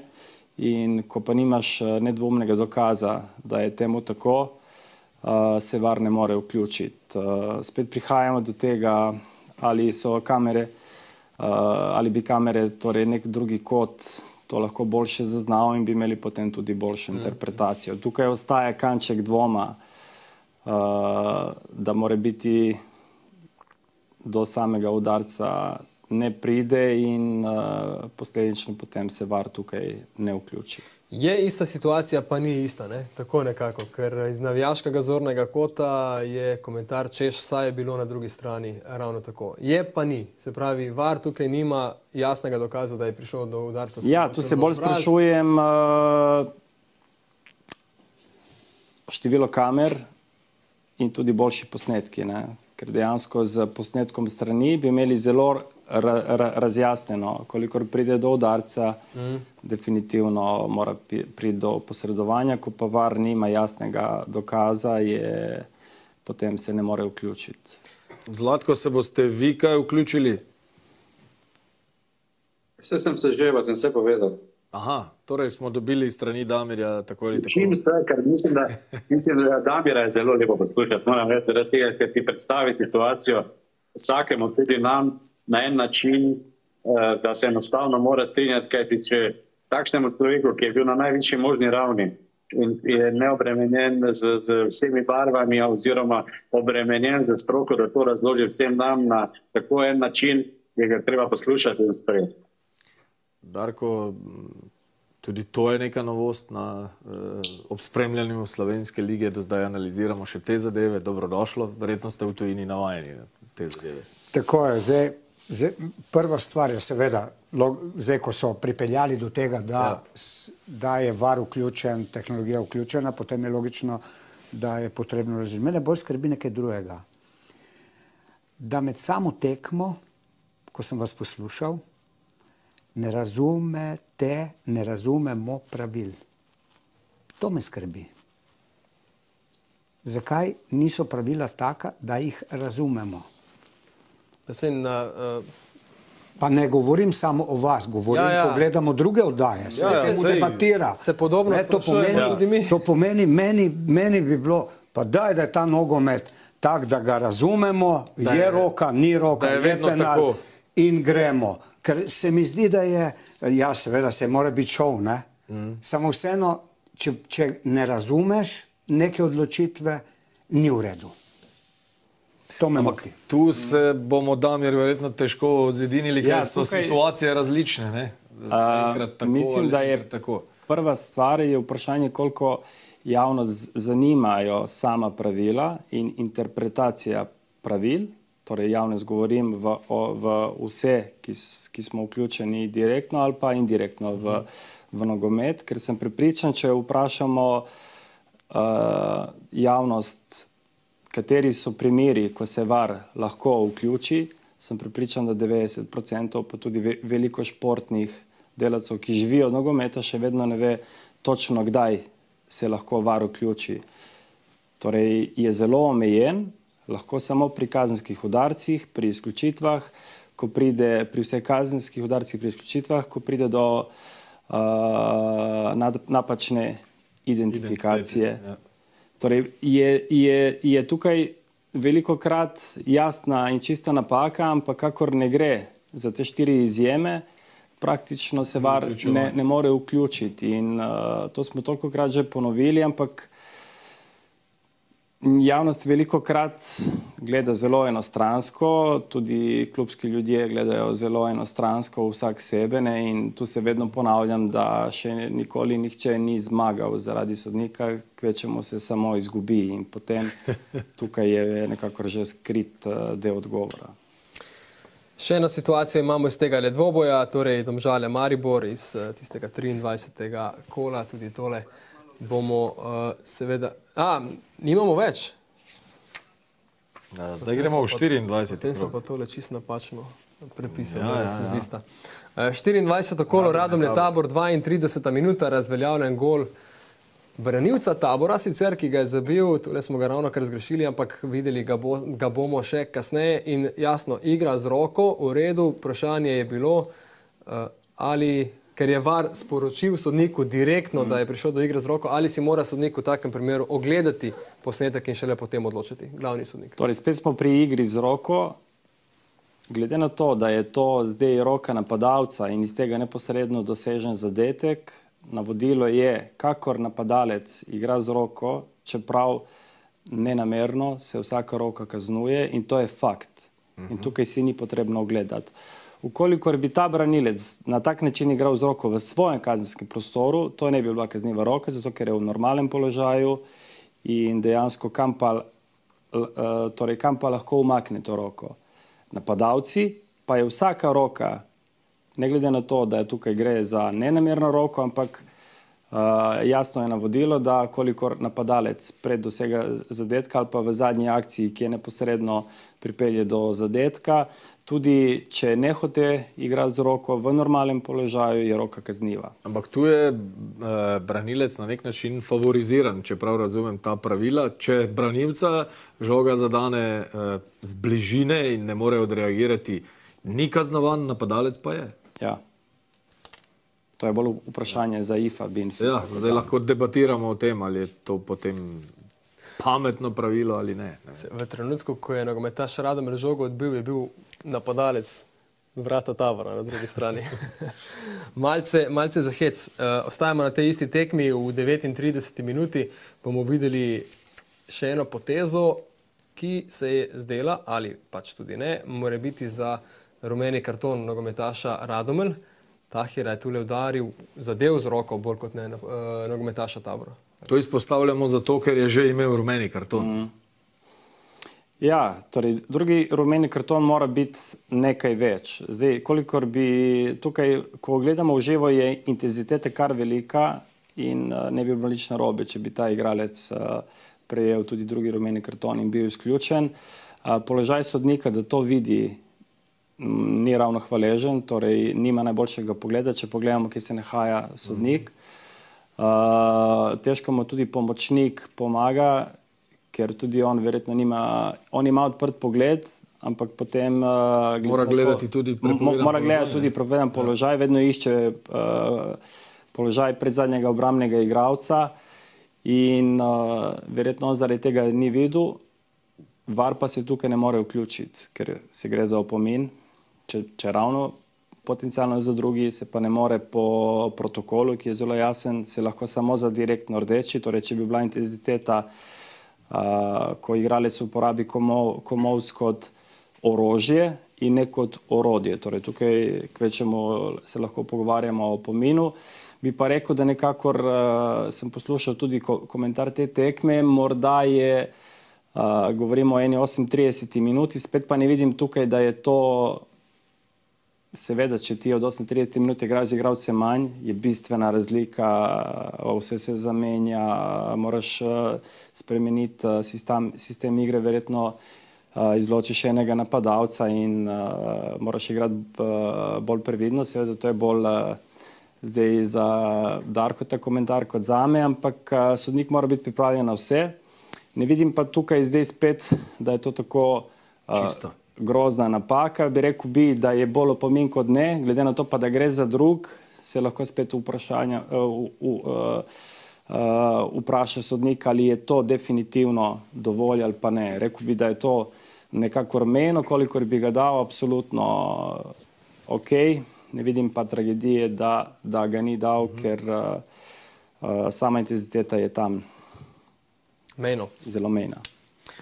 Gremo še na Koper Olimpija, gremo na ta podaljšek prvega polčasa, sodnikov dodatek, bolje rečeno. Tu je vprašanj več. Ja, glede na to, da se je 11 metrovka zgodila kar pozno v tem praktično dodatku, smo se spraševali seveda tudi o tem, ali bi moral sodnik tekmo že prej prekiniti oziroma nogometaše poslati v slačilnico Glede na to, da jo je v osnovi podaljšal za, za eno minuto. minuto.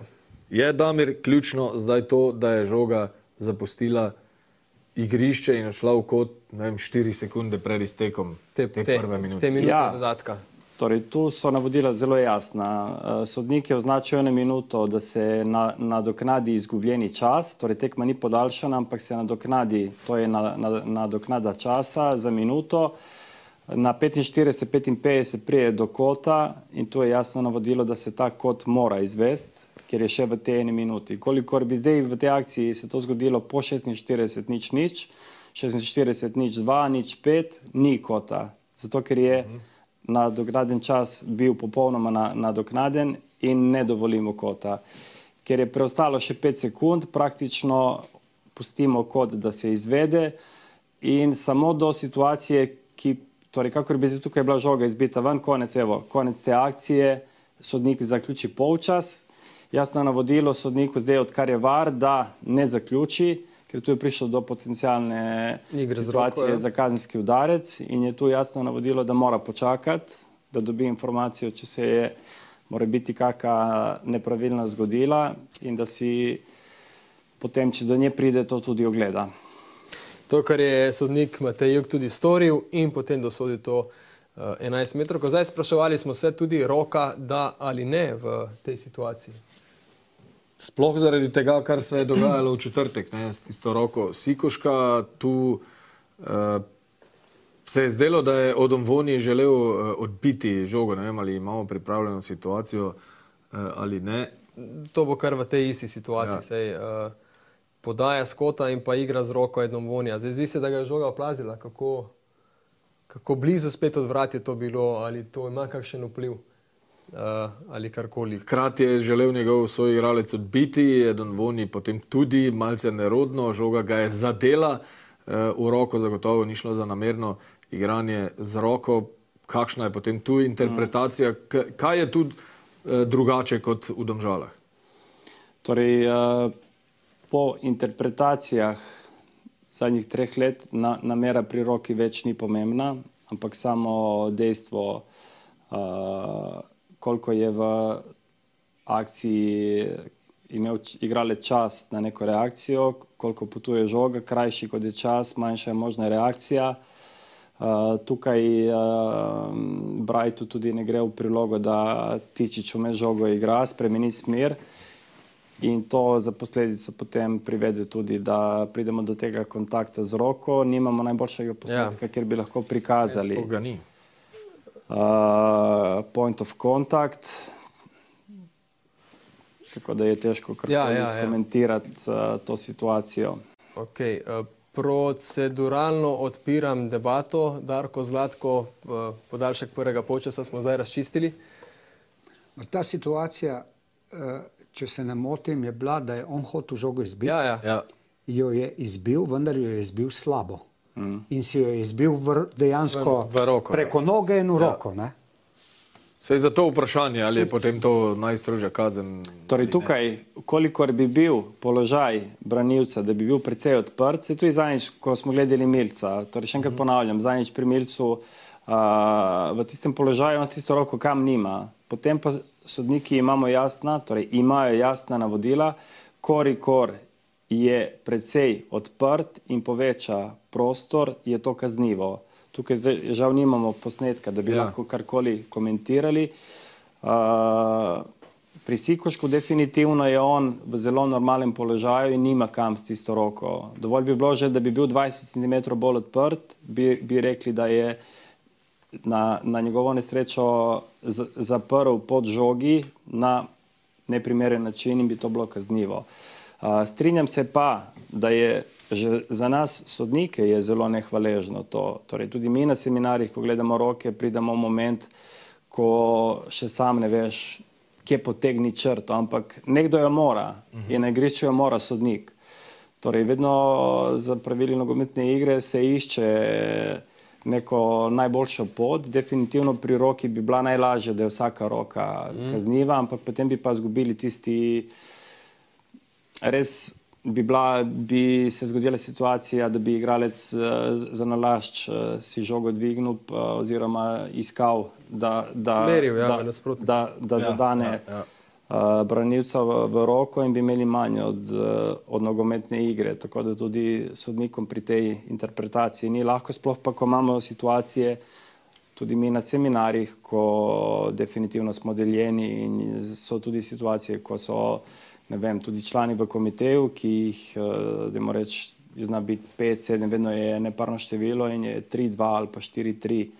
Torej, najtežje so te situacije, ki niso črno-bele. Pri črno-belih nam je vsem zelo hitro jasno. Tako da tukaj je pač roka bo definitivno vedno ostala tista, tisti kamen spotike in je zelo težko najti neko uniformno rešitev za, za interpretirati to črno-belo. Ampak nekateri nogometaši zdaj grejo v ta blok z rokami. Ja, se tudi to je nenaravno, ja, ker ti dejansko ne naravno, moreš ja. teči. Ja. Iščejo pa, da bi čim manj bili izpostavljeni ja. in da, da ja ne bi bilo možnosti, da bi do kontakta z roko. Ampak tudi mi imamo navodila, da naj ne zahtevamo od igralcev, da skrijejo roke, da naj dajo za hrbet, ker enostavno brez rok se teč ne da. Če so ob telesu, naj ne bi bila 11 metrov, kako gre za udarec bližine. Ja, ja, to, to, to definitivno. Edino, če to napadalca zadane in iz tega potem pride. Ja, ja, ja. To pri, pri, pride do zadetka. Tu je FIFA definitivno potem in IFAB sta, sta potegnila eno linijo, da, da takih zadetkov uh, se več potem uh, ne, ne dovoli. Naprimer, tudi taka roka, kot je bila od Sikoška, definitivno, če bi to bilo na gor črti, bi bila to edina izjema, ker praktično uh, vratarja ni in bi bil to definitivno potem zadetek. V to pa takem- bi bila 11 metrov. v takem primeru pa ja. Ampak to govorimo, ko, ko, ko res ni nobenega dvoma, ko tudi vse no, nogometni svet pač pričakuje, da, je- da je sankcija. Tukaj, ko je vratar postavljen, ko igralec se samo obrne in ima roke v res normalnem položaju, se to ne more kaznovati. Mhm. Dobro, Damir, hvala lepa za nocoj. Prosim. Hvala lepa še enkrat za Srečno koristne pot informacije. na Primorsko. Hvala enako. ja. Uh, zdaj pa še enkrat poziv sem vam, uh, dokler se nam pridruži tudi naš uh, fantasy mojster Jaka Giacomelli Kozmel, da naredite kakšno fotografijo, kako spremete oddajo pod prečko, vse skupaj objavite na storju in tegate, torej označite pod prečko in vaš klub iz niže lige, iz tretje lige, MNZ lige. Naša ekipa bo potem v nadaljevanju oziroma v nadaljevanju te sezone uh, nekaj njih tudi obiskala in poskrbela za to, da ne bodo žejni uh, v sodelovanju z Unionom, da ne bodo žejni po treningih. Jaka, ti si to že opravil? Ja, nisem več uh, aktiven MNZ nogometaš, bil sem kar nekaj let, uh, lahko bi rekel celo, da sem bil pri članih zgolj MNZ nogometaš. Vem, kako uh, veseli bodo osvežitve tisti, ki jo bodo na koncu dobili. Uh, kombi pijače v MNZ ligi nikoli ne, ne škodi, ne bomo pa zdaj o tem, ali bi bili bolj veseli česa drugega kot izotonika. Uh, to, bo, to bodo potem tudi fantje verjetno Mogoče povedali. pa ne bo samo izotonik. Mogoče pa ne. Uh, so pa seveda, kar se tiče izotonika, še z njim napolnjeni, bomo rekli, naši mladi nogometaši. Danes ne bomo začeli s fantazijem, ampak začenjamo uh, z rezultati kadetske in mladinske lige. Namreč s tem koncem tedna se je vrnil uh, tudi uh, nogomet naših mlajših selekcij in uh, ja, kar se tiče kadetske lige, nekako zmage tistih, ki so bili najboljši tudi v prvem delu sezone, kasneje bomo videli lestvico, In res pravzaprav ni bilo veliko, da rečemo, spodrsljajev. Na vrhu lestvice Olimpija, ki je zmagala v novem mestu proti Krki, tudi celjani so zmagali, tudi nogometaši Brava in pa tudi Mariborčani. Tako da res zdaj, ko bomo dobili lestvico, vidimo, da velikih sprememb ni. Olimpija je na prvem mestu v selekciji, torej do 17 let, potem pa Bravo, Celje, Maribor, Brinje in Ilirija. Vse to so nekako ekipe, ki so v tem krogu slavile. Ilirija je malce napredovala s tole zmago na šesto mesto, ampak kot vidimo, razlike sploh med prvimi tremi so še majhne, tako da boj za kadetskega prvaka zagotovo bolj odprt kot v članski konkurenci, čeprav je vodilna ekipa enaka. Tudi v mladinski ligi vodi ljubljanska ekipa na lestvici, ampak ne Olimpija, temveč morda malce presenetljivo Ilirija. Tole so rezultati, Olimpija v tem krogu ni zmagala, remizirala je s Krko ena proti ena, Antona Usnika je tudi zamenjal Boštjan Miklič, prišlo je torej do spremembe po tem rezultatu v mladinski selekciji, Mariborčani so slavili, precej so dvignili formo, odkar so oni jeseni zamenjali nekako vodje strokovnega štaba v mladinskih selekcijah, morda izpostaviti velja tudi visoko zmago Brinja proti Nafti, skar 5 proti 1. Ilirija je premagala Muro, domžale so bile boljše od celja. Torej na lestvici mladinske lige vodi Ilirija, dejal sem morda malce presenetljivo, a vendarle tri točke prednosti pred Mariborom, ki pridno pleza po, le, po lestvici, na dnu pa malce v težavah, predvsem Gorica in Nafta. Ampak vemo, kako je zaenkrat še v mladinskih in kadetskih selekcijah najbolj merodajna bo tale lestvica, ki jo bomo videli zdaj, to je skupna lestvica mladinske in kadetske lige, vemo z nekako novo reformo nogometa se bo to spremenilo, ampak trenutno na tej lestvici Olimpija pred Mariborom štiri točke, jasno, ko se odigrata zdaj dve tekmi na krok, to seveda ni eh, ravno velika razlika, ampak eh, vemo, prvo mesto pelje v Ligo prvakov za mlajše nogometaše, tako da je nagrada mamljiva, tudi potem celje Ilirija in Bravo še povsem v tem boju, ja, v težavah pa torej nafta in Gorica. To je to, kar se tiče našega mladinskega nogometa, velja pa seveda opozoriti še na nekaj, vrača se tudi naša druga liga in sicer v prihodnjem uh, vikendu, v prihodnji konec tedna spet na delu naši drugoligaši. Tu bomo seveda nekako vsaj na začetku najbolj spremljali, kaj se dogaja z aluminijem, tokrat bo igral z rudarjem in pa z rogaško, ki bo igrala proti Brinju nekako v vlogi velikega favorita. Namreč to sta ekipi, ki bosta v tale drugi del sezone vstopili kot nekako tekmeca, tekmici za prvo mesto. Pa bom kar zdaj vprašal tule Miho in Dejana, rogaška aluminij, je to boj tudi za to, kdo bo malce večkrat tule recimo odaj pod prečko omenjen, nagrada prve lige je vedno mamljiva. Imate kakšnega favorita? Premija, če priješ v prvo ligo, je torej nastopanje v oddaji pod prečko, če to prav razumem. Na nek način je to neka nova nagrada, zagotovo za te, recimo temu malce manjše klube. Vse trenerji tudi to priznavajo in Oskar Drobnej in Robert Pevnik, ki vodita trenutno vodilni ekipi v drugi ligi, sta tudi že vajene nastopanja v naših oddajah in naših studijih. Uh, stari znanci. No, super. In se želita vrniti iz prve roke. Ja. Nagrade so torej mamljive, vemo pa tudi, kje so še mamljive eh, nagrade, to je v našem fantaziju, kjer je šlo uh, Jaka to tak rok. Zelo, zelo dobro, tudi zato, ker je imel uh, nogometaša, ki bo tule na vrhu lestvice v svoji ekipi, tudi predlagal ga je, to je Ivan Brnič, uh, ki je res zablestev na obračunu proti celju.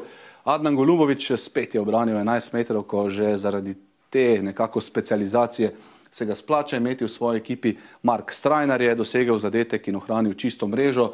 Franko Kovačevič, najboljši posameznik na tekmi Domžal in Gorice. Ja, tudi Žan Vipotnik, tule sem ga še pozabil omeniti, pa se bom potem spomnil na nan, je seveda zdaj že kar stalnica tule na tele naši lestvici. Zdaj, kar se tiče mojih predlogov, malce bolje mi je šlo kot ponavadi, ne pa fantastično, kajti Žiga Kovs je na zadnjih dveh tekmah zbral samo dve točki, tudi poškodoval se je, tako da upam, da nisem kaj, kot pravimo, za džinksov. No, Ivan Brnič pa je bil res zelo, zelo dober, še posebej v tem zadnjem krogu, ko je torej zadev, podal in bil še igralec tekme. Zdaj pa morda še fantasy podatek, v kako izjemni formi je pravzaprav Žan Vipotnik, namreč v prvih 14 krogih tele sezone Poglejte, tole razliko je zbral samo 12 točk, praktično nihčega. Mislim, da ni imel v svoji ekipi, zdaj pa v zadnjih krogih zbrane 103 točke.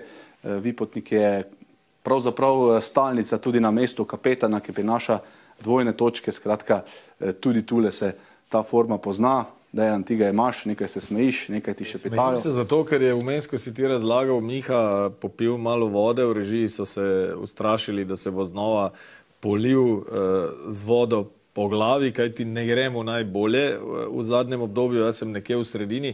Tebi, Jaka, moram čestitati, vem, da ti je šlo fantastično v zadnjem krogu, za razliko od tebe, ti nikoli ne čestitaš, ti jaz zdaj, zdaj čestitam. Hvala. Tudi sam ti bom čestital, ko ti bo šlo fantastično. ok, zmenjeno. Hvala lepa, Jaka, tudi za tole.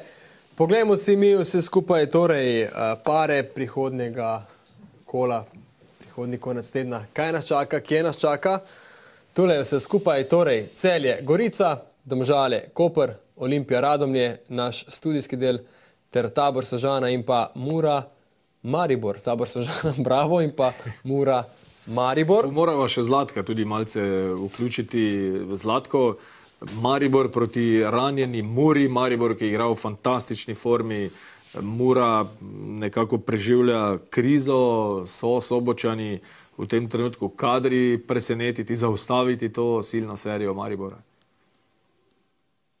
Dobro, to je zmeraj težko gostovanje. Mura, Mura je odlična, ima tam odlično atmosfero, publika zelo pomaga ekipi, je mlada ekipa, se trudi se, da pride iz tega, iz tega ven zmagovalni niz, vendar Maribor trenutno zradi tudi ne samo na igrišču, tudi zunaj igrišča, eno veliko eh, samozavestjo. S tem vseh nas, ki navijamo za Maribor, nam daje eno upanje, enostavno eno, eno moč. Eh, in, in ko greš, ko gledaš Maribor, imaš občutek, da Maribor enostavno tekem ne bo zgubljal, prav nasprotno, ampak zmagoval in to je zelo pomembno. Darko, tole gostovanje Maribora v Murski soboti, tudi vi ste jih dali nekaj skozi. Tam je, kot je rekel Zlatko, vedno vroče. Ja, je, res je. Vroče gostovanje, malce drugačen teren tudi, te, teži za igro, drugačen kot v ljudskem vrtu. In uh, tako da, uh, kot je rekel Zlatko, seveda bo zahtevno srečanje, vendar je Maribor v tem trenutku v takem stanju, da uh, dejansko je velik favorit in uh, zelo samozavesten, dob, dobro zgledajo. Uh, je pa zmeraj zmer, zmer mogoče vse, ne, čeprav, čeprav tu je ta samozavest in ta do, dober izgled in, in kako, kakšen načrt imajo, vse govori njim prid. Uh, samo še to, beseda dve tudi o pokalu, ki sledi takoj po tem krogu, torek, sreda, četrtek, potem naslednji teden mi bomo prenašali seveda edini prvoligaški dvoboj tekem osmine finala pokala pivovarne Union, Koper, Domžale, Domžale v torek ob 18. potem pa v sredo 8. marca na dan žena, ko bo lahko uh, Miha moje nocojšnjo darilo dal mogoče tudi naprej, ne vem, kaj bo storil z njim. Uh, dve tekmi je Rudal Rudar Velenje, Maribor, bom rekel, kar klasika, če se spomnimo starih časov. Na stadionu ob jezeru bodo gostovali Mariborčani z neposrednim prenosom na sportklubu, kot tudi tri ure kasneje ob 18. Nafta, Olimpija, torej v Lendavi. Eh, Še ena, bom rekel, kar poslastica na sportklubu. Ja. Miha, kaj si želel? Pravzaprav se že poslavljamo, tako da bomo kmalo slišali tudi našo značilno Ampak jaz še imam na hitro po eno vprašanje. Kar povej, kar povej. Uh, zanima Dajem me, prednost. Uh, Darko, preden vprašamo Zlatka, ki ima kar pestro izbiro v zadnjem, zadnjem obdobju glede športov, s katerim športom se trenutno najraje ukvarjate. Tako beljenje garaže, odnašanje stvari iz stanovanja, not ven. To je zdaj trenutno moja prekopacija. Z O, veseljem. Fantastično. Eh, Zlatko, eh, smučanje, tenis, nogomet, eh, če bi morali dati na lestvico, kaj bi bilo trenutno pri vas na vrhu? Ni potrebe dati na lesico, ker časa je za vse, tenis in smučanje, smučanje in to je to. Kaj pa smučarski skoki, to je pa pozabljeno. Ne, trenutno, trenutno so na televiziji in zelo dobro nam kaže prva medalja. Zlatko, pred desetimi leti ste eh, bili kritični do eh, občinstva, ki, oziroma do tega, da, da, je, da, da je bilo mnenje javnosti, da na smučarske skoke odhaja več gledalcev kot na nogomet. Uh, danes se zdi pa vendarle, da se tudi nogometna domača liga, domače prvenstvo kar močno prebuja s tekmami, ki smo jih videli v, letošnji, v tem drugem delu sezone in številom gledalcev na tekmah. dobro, to, je, to je vse v cilju, da bi ljudje prišli, kajti eh, nogomet Sloveniji se igra odličen, pogoji so dobri, eh, vse je dobro za eno, en, en dober vikend, soboto, nedeljo, da, da se človek res z družino, s prijatelji nekako na, na največji spektakel možen v športu, to je nogomet, se druži. Eh, Tako sem rekel, pogoji so dobri in eh, ni razloga, da, da tudi Slovenija ne poveča, ne poveča rekel, to število gledalcev, kajti eh, tudi v Sloveniji se igra odličen nogomet. Samo treba biti pozitiven, treba gledati eh, na, na, na, na, na vsako tekmo zelo pozitivno, kajti eh, tistih 90 minut ni samo to, je vse drugo in eh, je, je, je lahko si narediš en zelo, zelo prijeten dan. Darko Zlatko je že vajen pravih maratonov, tudi tu v našem studiu, tudi na tri ure smo že skoraj potegnili, danes eh, vendarle malce prej, 2 uri 15, 2 uri 20 je bilo težko zdržati v naši družbi se pogovarjati o nogometu. Nikakor. Super je bilo. Torej se še kdaj vidimo. Seveda. In slišimo, ko boste eh, podpisali naslednji list. Godove. Kdaj? Bo, bo kmalu, kakšen je Ne občutek? ne vem. To, mislim, Pustimo to. ne. To Nam, nam, Zlatko je dobro prej rekel, ne, nekje se menja pri novi lastniki, trenerji smo tisti, kateri uh, ob nekih slabih rezultatih tudi normalno uh, prvi stradamo, tako da tako za me, uh, tako za druge in to je pač sprejmeš to, sprejmeš to igro, tako da upam, da čim prej. Mi tudi. Hvala. Ja. Jasno. Zlatko in Darko, hvala lepa, da ste si vzela čas ta večer in ga znova delila z nami, vajne nogometne izkušnje, vselej dobrodošlo in rekel bi celo neprecenljivo. Hvala lepa obema. Hvala vam. Hvala tudi vam, lahko noč. Lahko noč. Miha, zaključna beseda je tvoja. Ja, hvala vsem, da ste bili tudi danes v naši družbi. Trudili se bomo tudi uh, za naslednjo oddajo, da pripravimo nogometni spektakel, kot je dejal Zlatko Zahovič. Živite še naprej in do prihodnega tedna. Lepo zdrav, ko se ponovno vidimo v oddaji od Prečko. Lahko noč. Mhm.